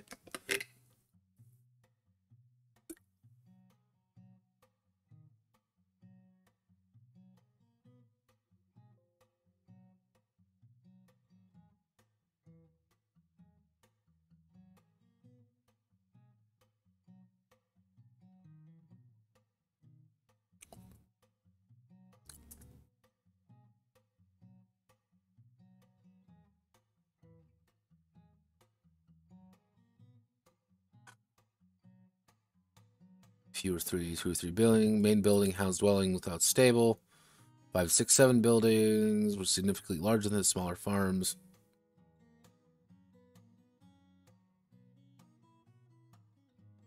Hmm.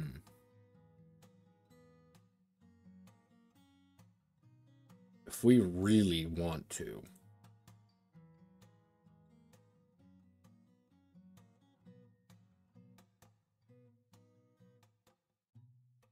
We could make it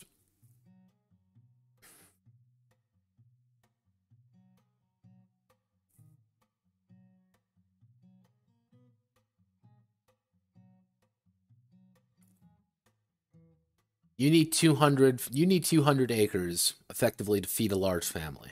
Let's just do we'll, we'll just use that as like a basis.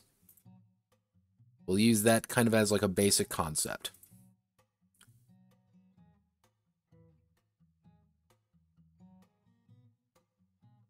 About two kilometers apart. Because the thing is, these weren't necessarily. The thing is, these aren't necessarily villages either. These are literally independent little farms that you'd have people around. So it would be like if we say 200 acres feeds feeds a large farm. Well, actually, if we think about it like this, 200 acres feeds a large farm. About 100 acres should feed a farm half the size. Two kilometers would be about two squares. Okay. If we do the 200 acres solution, so if we cut the acreage in half, we assume that from point A to point B, like this distance right here is about 100 acres. It's 100 acres of land.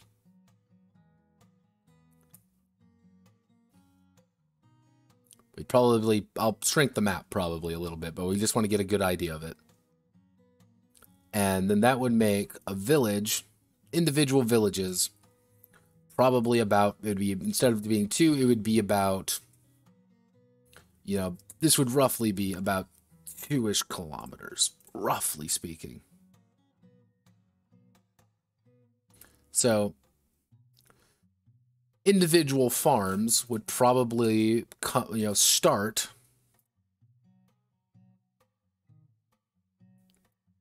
Uh, we don't want to do that. We want to make we'll we'll we'll do that.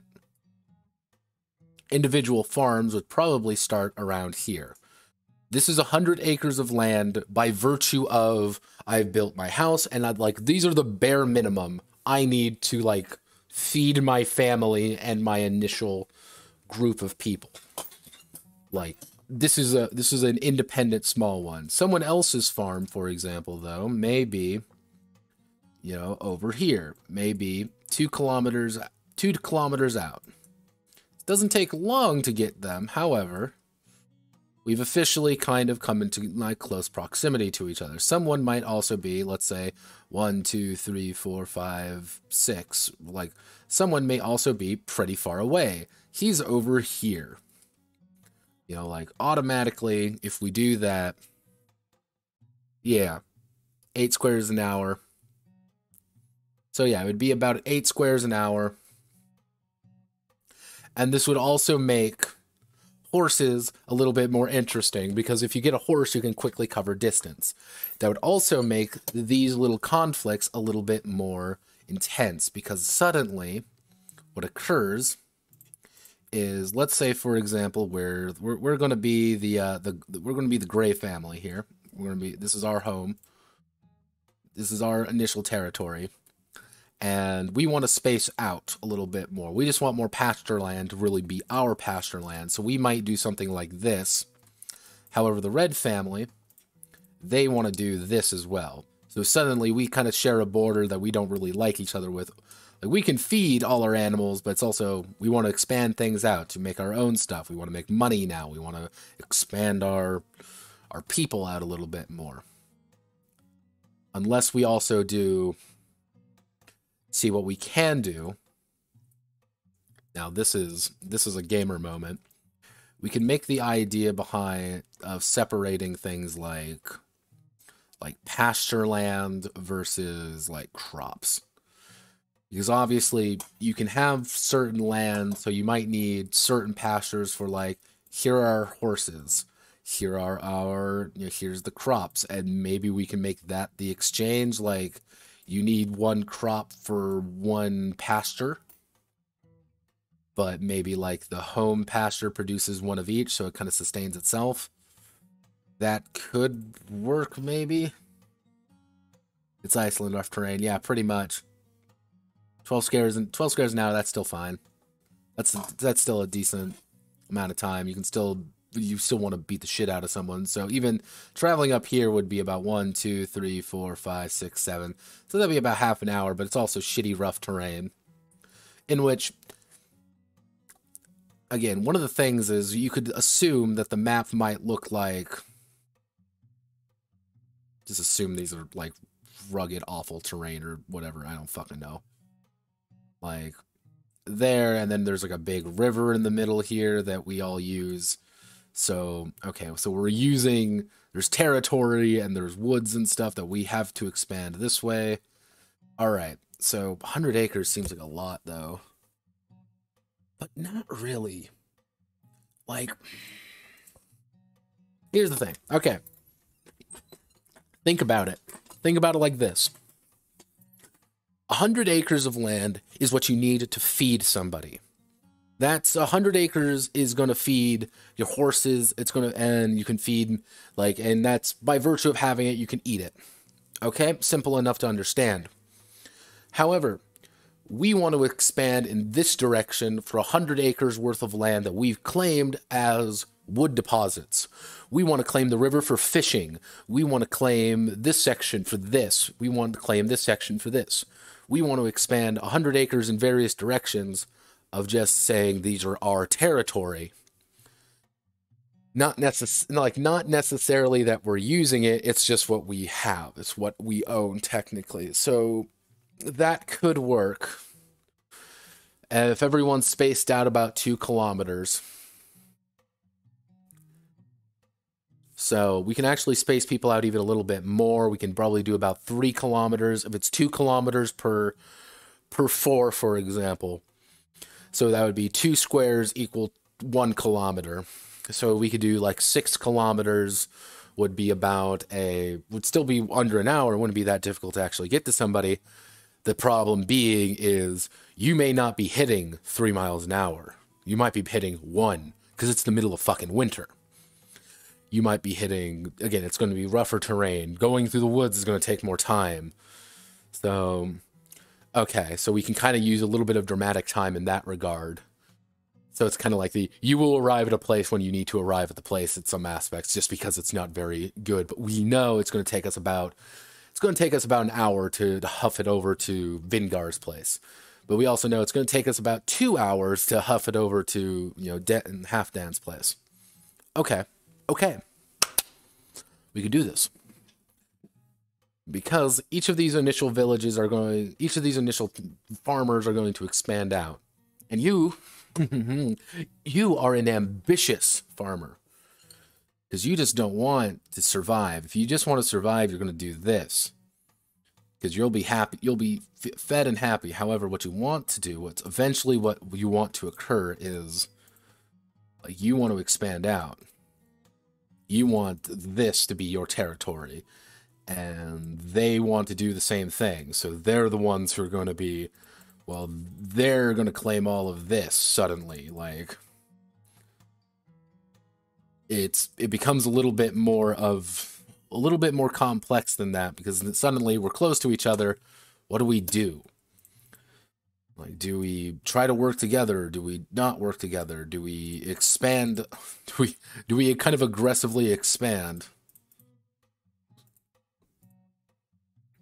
Like, what do you do when a guy does this? Like, he's just rapidly expanded. He's claimed all this territory as his own.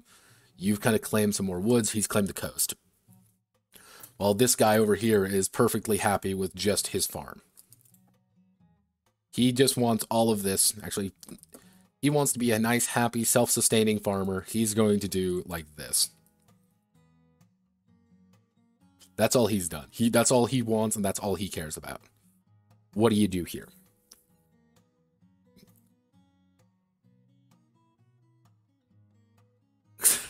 Fifty by sixty of hundred acre plots is almost exactly all there.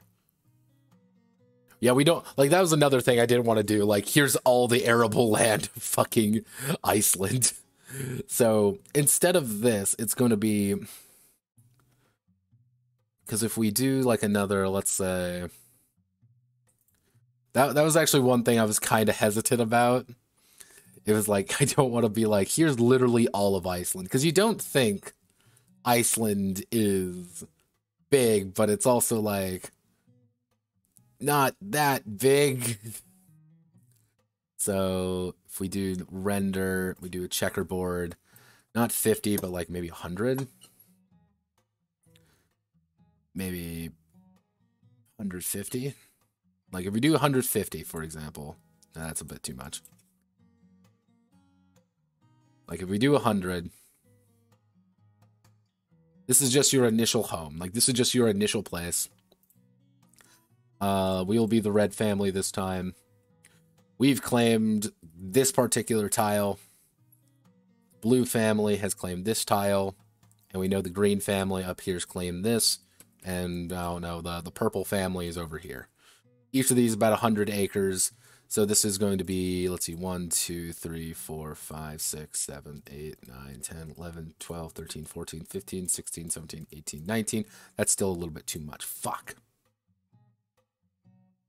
The non-arable land would be a 5,000 by 5,000. Because you also, here's also one thing. It gets a little bit confusing because Iceland during this era was actually a lot better, better but the Vikings happened and they deforested a lot of it and caused like mass erosion and actually limited the amount of area that was actually like arable. So it gets a little bit odd. So we can bring it down to 50. No, no, no, no. If we want we want four four squares, you know, roughly two kilometers. Two kilometers equal four squares. That means we're going to have to do 100 acres. So if we roughly do something like this, so two kilometers for four squares is 100 acre, 100 acre squares. I should 100 acre squares.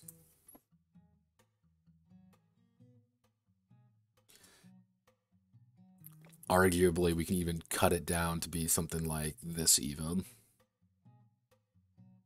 Like, here's your little patch of land, fuck you. So this would be 1, 2, 3, 4, 5, 6, 7, 8, 9, 10. So 10 by 1, 2, 3, 6, 7, 8, 10, 16. So about, if we really wanted to make this like so about 10 by like maybe like this. Blue kind of got shafted out, but we'll put blue there. And if we use this as a basic idea, it's going to be about we can get to each other pretty easily. And we're all in this together, but this is our little patch of land. This is our little little, little our little our personal Idaho but maybe he wants to just expand there because he's perfectly happy. Green wants to expand deeper into this territory and do something like this. And purple over here is being real aggressive and he wants to claim all of this territory for himself. because there is a I don't fucking know. We'll put a river here or something. We'll put a like there's a river that separates like this. Purple wants to claim all of that, but there's only a little river right here. No, no, where, where where do we expand? Well, we want fish obviously, so maybe we do something like this. But we also want wood, so we're going to go up here. So we may have our territory look like this. We were kind of set along these rivers, and now we deal with it. Making little claims, and this might be little claims, and we might come to conflict with purple, or we want to get some more territory out uh, out east, so we might do something like that and kind of go on his ter his turf. All right. All right.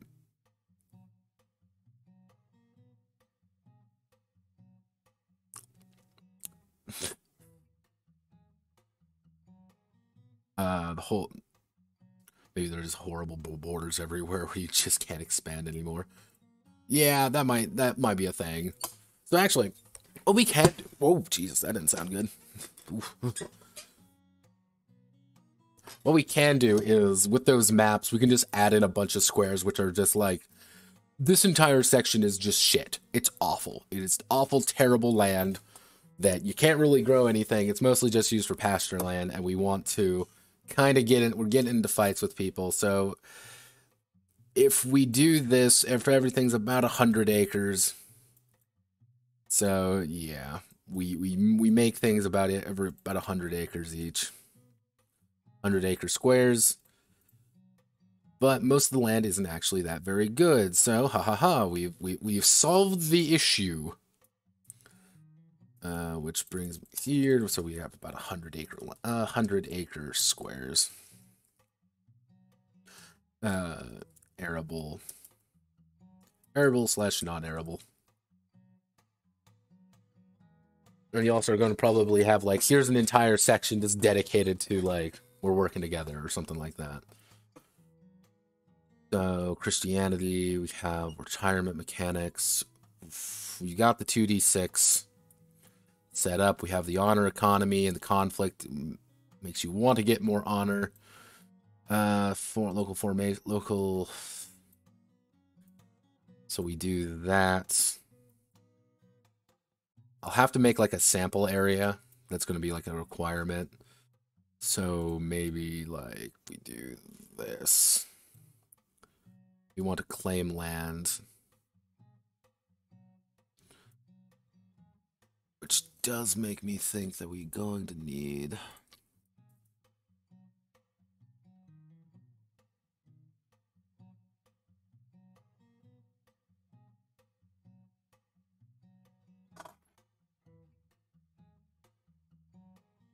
Mm-hmm.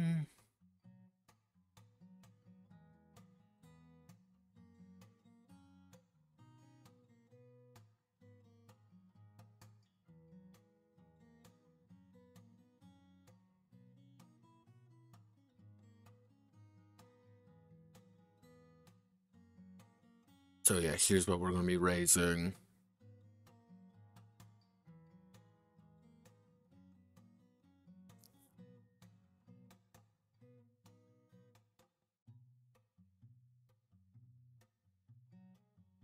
Driven to higher ground. Fishing and men away on fishing. Women ran the farm to do work. Power inviting children to go to school. Boys learn to tax the men. Girls learn helping their mothers. Most Viking men return from raiding for harvest and winter over the, over on their farms. So you're going to be a wealthy man, though. That's how the family begins. So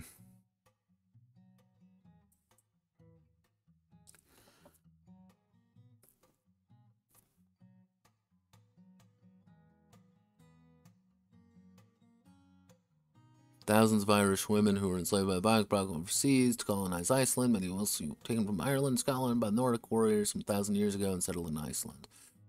Then, was Iceland full of Vikings? Yes.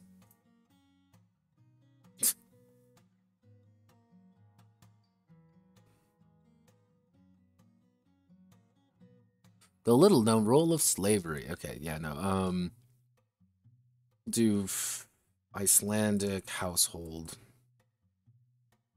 Uh, Icelandic, uh, ancient Viking households.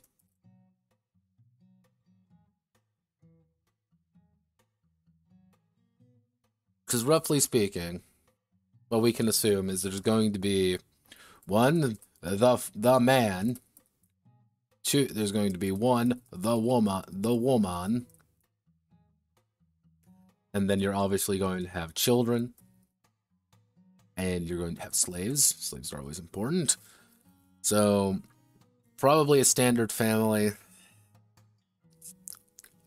I don't know.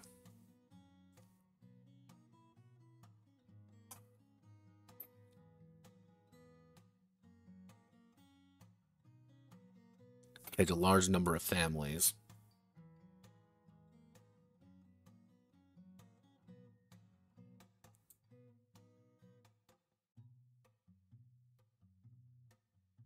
Might have uh, number of families, agricultural lifestyle, uh, early nights and early mornings, younger fit, working Vikings, be up to cock crows, tending animals, working the land. So you might have, if it's multiple families, let's assume it's four families. Let's just say that. Four families.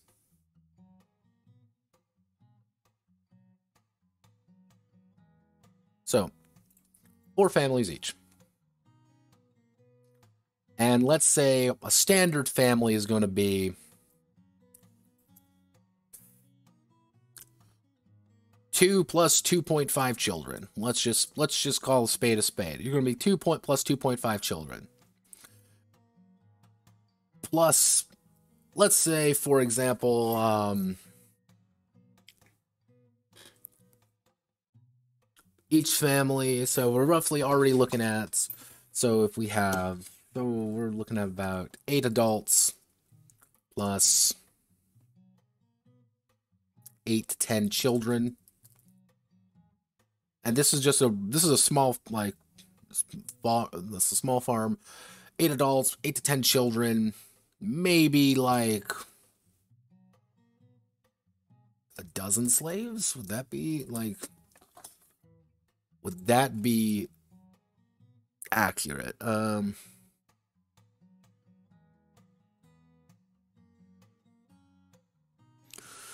So, uh, Icelandic sagas and the elders written down uh, for most early Norwegian history. These events have passed down. Uh, was out fighting off some other Vikings. His wife, lit little little light that was visible, so old, find his way back home. We also know on one occasion how so dim when and when entered he could see could see and Grettir could surprise him by tripping him. Other tales, uh, like a privacy one night, Grettir was swimming in his hideaway in Rik- uh, and after everyone was asleep, bathed in hot pool and went to sleep, went to sleep naked. During the night, his his bedclothes fell off, and in the morning, he was found by his own owner's daughter and servant woman. Apparently, when I get her the strong is lying there naked. He's big framed all right, but I'm astonished how poorly endowed he is between his leg. It's not in proportion. Ah. Even even in history, we need to make fun of someone's dick. Um. So let's see. How many families? Like.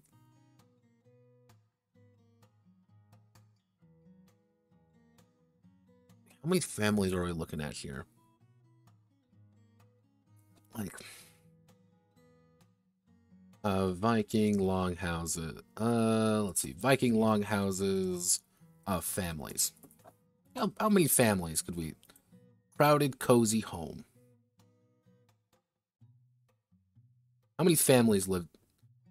Oh, this is the main building community and would sometimes house up to 30 to 50 people. 30 to 50 people. Okay, so that kind of um, changes that number. So we're looking at maybe like six families. So like a small farm might have like 12 to 14 to 6 like 14 to 16 children like This is a small farm, by the way.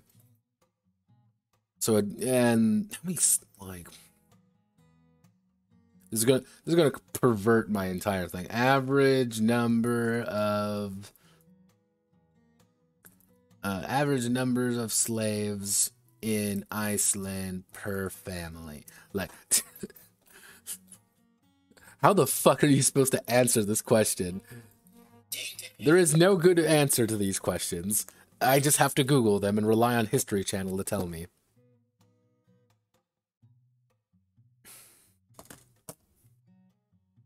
Like, uh,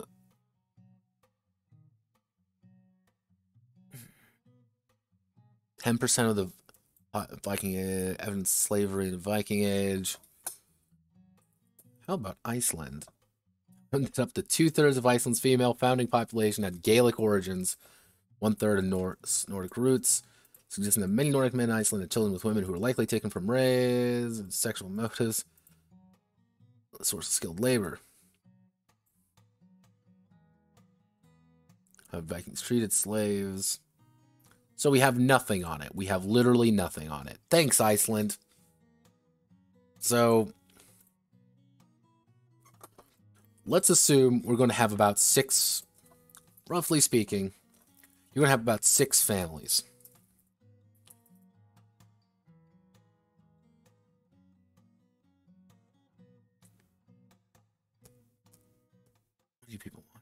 So we're gonna have about about six families, and you're going to be probably the dominant family. There's going to be probably like one dominant family. They're going to be the head of the house. That's who they are. They are the the head of the head of the house. They're probably the one who owns the boat. Everyone knows everyone they own the boat, but that's kind of who they are.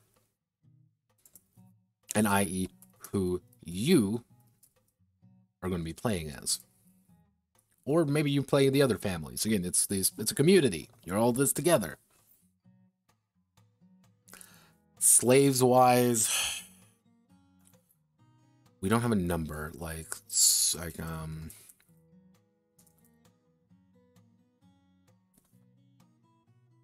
do we have like a number for it? Do we have like an idea? Do we have uh Icelandic?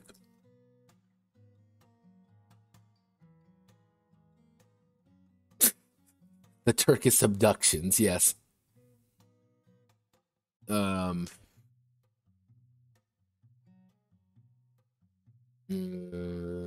Manner.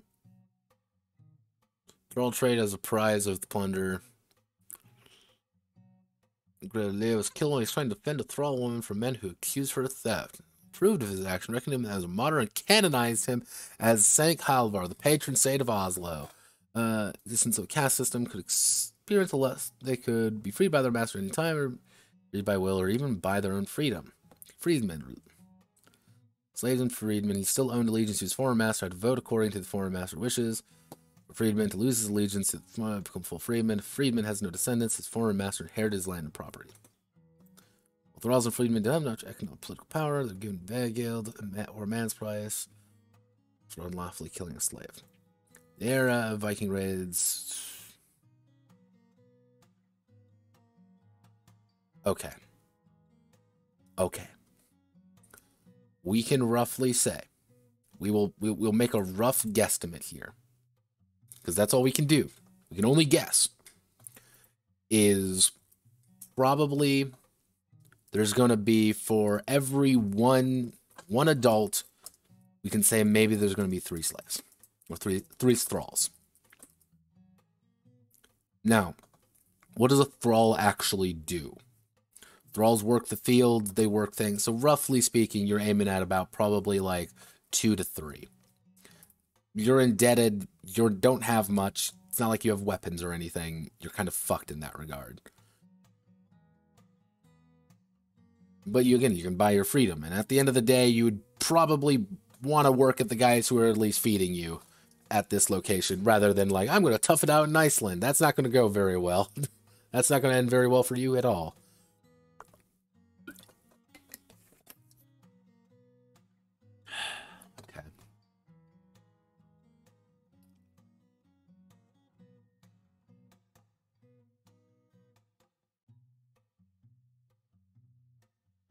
And if the players want to have individual families, they can probably play multiple families on the same farmstead as they kind of go back and forth. And some people are kind of adhering to this, and some people are adhering to that. And of course, people are going to live in your longhouse with you, and some people aren't going to live in your longhouse. It's generally a we're expanding the community out. That's the main goal. So six, we'll, we'll do four to six families. So four to six families per longhouse. If we do four to six families per longhouse, that does actually give quite a few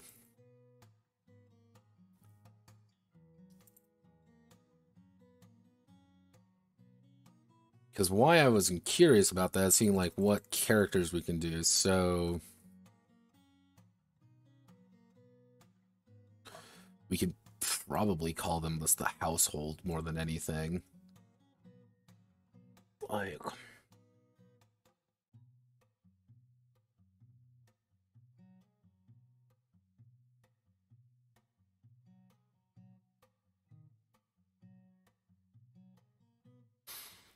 Oh, sweet Jesus. Okay. So we have the the Jarl, the Huskarl, Carl, F. Friedman, and obviously we have a Thrall. And we have a Thrall. So roughly speaking, like like an Earl? I mean only one uh, Iceland Earl Iceland for his efforts during the age of so technically that wouldn't be correct. It would be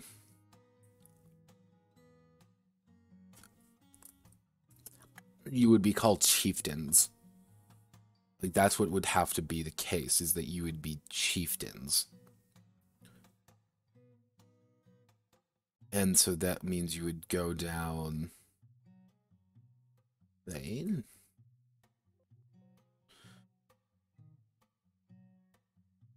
So actually Icelandic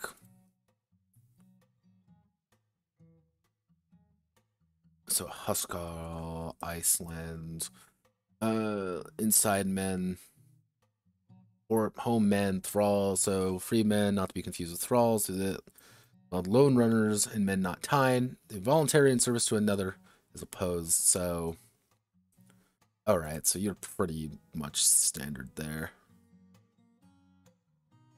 So that okay, that makes sense. That makes a lot of sense. So as a you're pretty much a guy who serves another guy. All right. So what what do we call the other guy? That's the question. What the fuck do we call the other guy? Thingman? No, that's not right. Or the Scandinavian personal armed companions, hidden housecarls. Um, I guess Icelandic chieftain would be the correct I guess chieftains would be the because during the Commonwealth.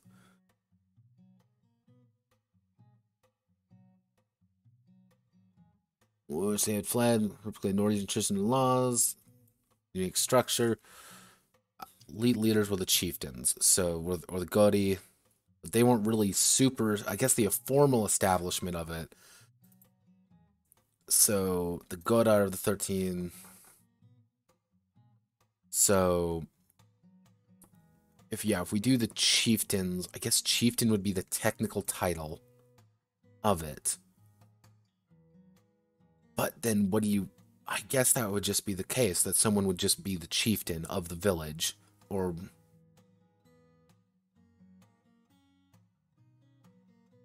Yeah, okay. So that's just who you would be someone is this person simply because he is the person who runs everything. He is the we've elected this man the chieftain because he is the chieftain. And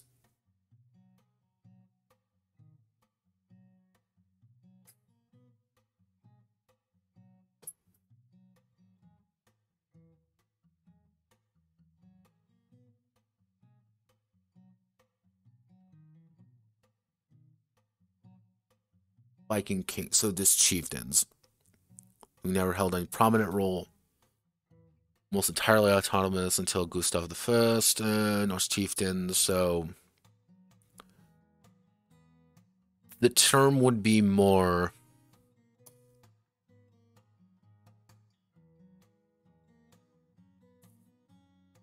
you would be more considered to be a person of this you have this power by virtue of being this person so the mature warrior captain of chiefly vessel house carl lowest rank of elite soldiers population of a settle of the of a settlement so ninth century so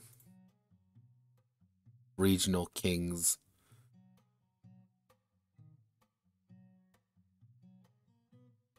all three strata. Key takeaway: three tier social.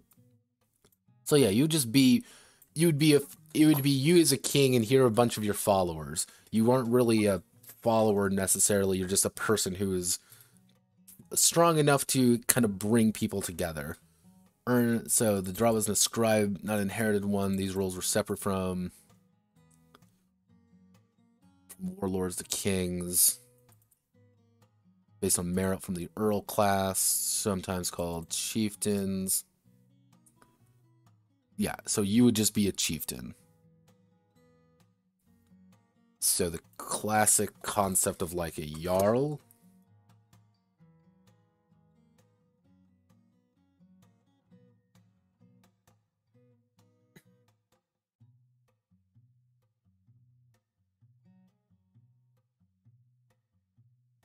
like a Duke or Earl. Found it. Yeah, so you would just literally just be a chieftain, or you would be the uh, equivalent of roughly a jarl. Like you don't really have a name, uh, you don't have a specific title. You just have a thing that just says this is who you are. You are just the person. Like that's just who you kind of are. Like you're not Yeah, okay, so that's fine. So one person would just be the the chief by virtue of being the chief. So that works. So rough roughly speaking, this would be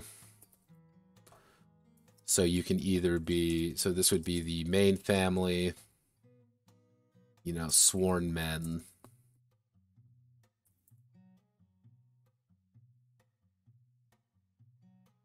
Carls would just be free men.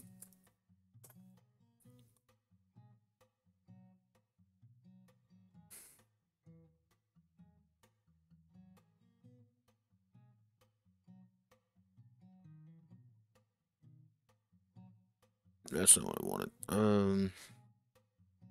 Hmm.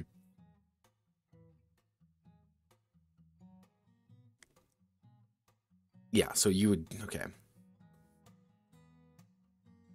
Because if we go under this idea, this would just be the free men. So these are just the free men. These are kind of like this the men in serve. We could call these kind of the the men in service. These would be thralls. So you could technically play anybody from any of these. But those are the rough roughly speaking, these would be your social classes. Everyone's part of the same farm. So if we bring you up here.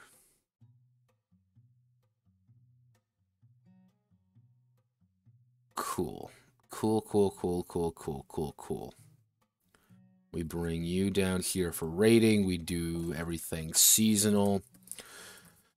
We do things seasonal in which we break it down into summer, spring, i.e. the big rating seasons. We do autumn for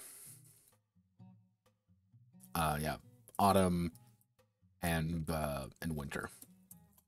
Which roughly speaking, we don't do jack shit. So actually Icelandic harvest. Icelandic harvest season. When is the harvest season in Iceland? Um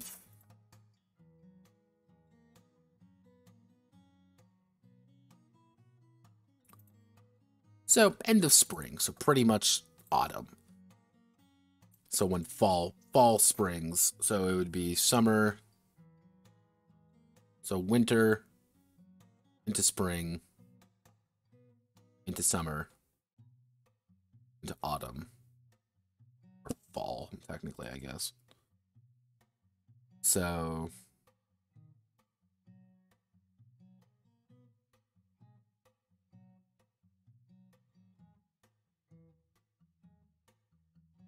yeah, I guess this would because you would harvest harvest season would be here in fall, and then you'd go then you sit for winter.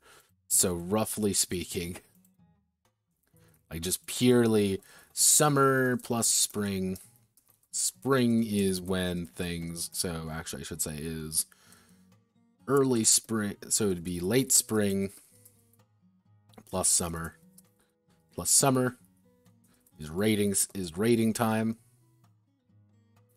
Fall and winter is drama time.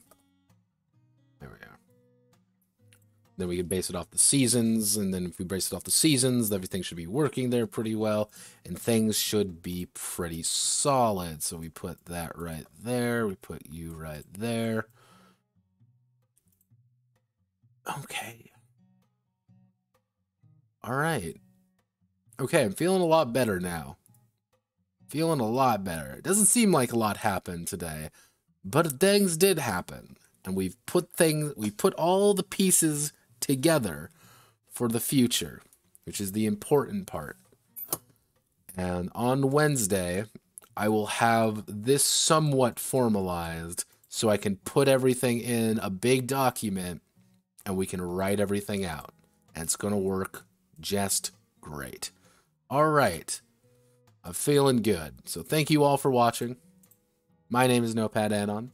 If you have anything to say or you'd like to talk, feel free to ping me on my Discord. You know where to go.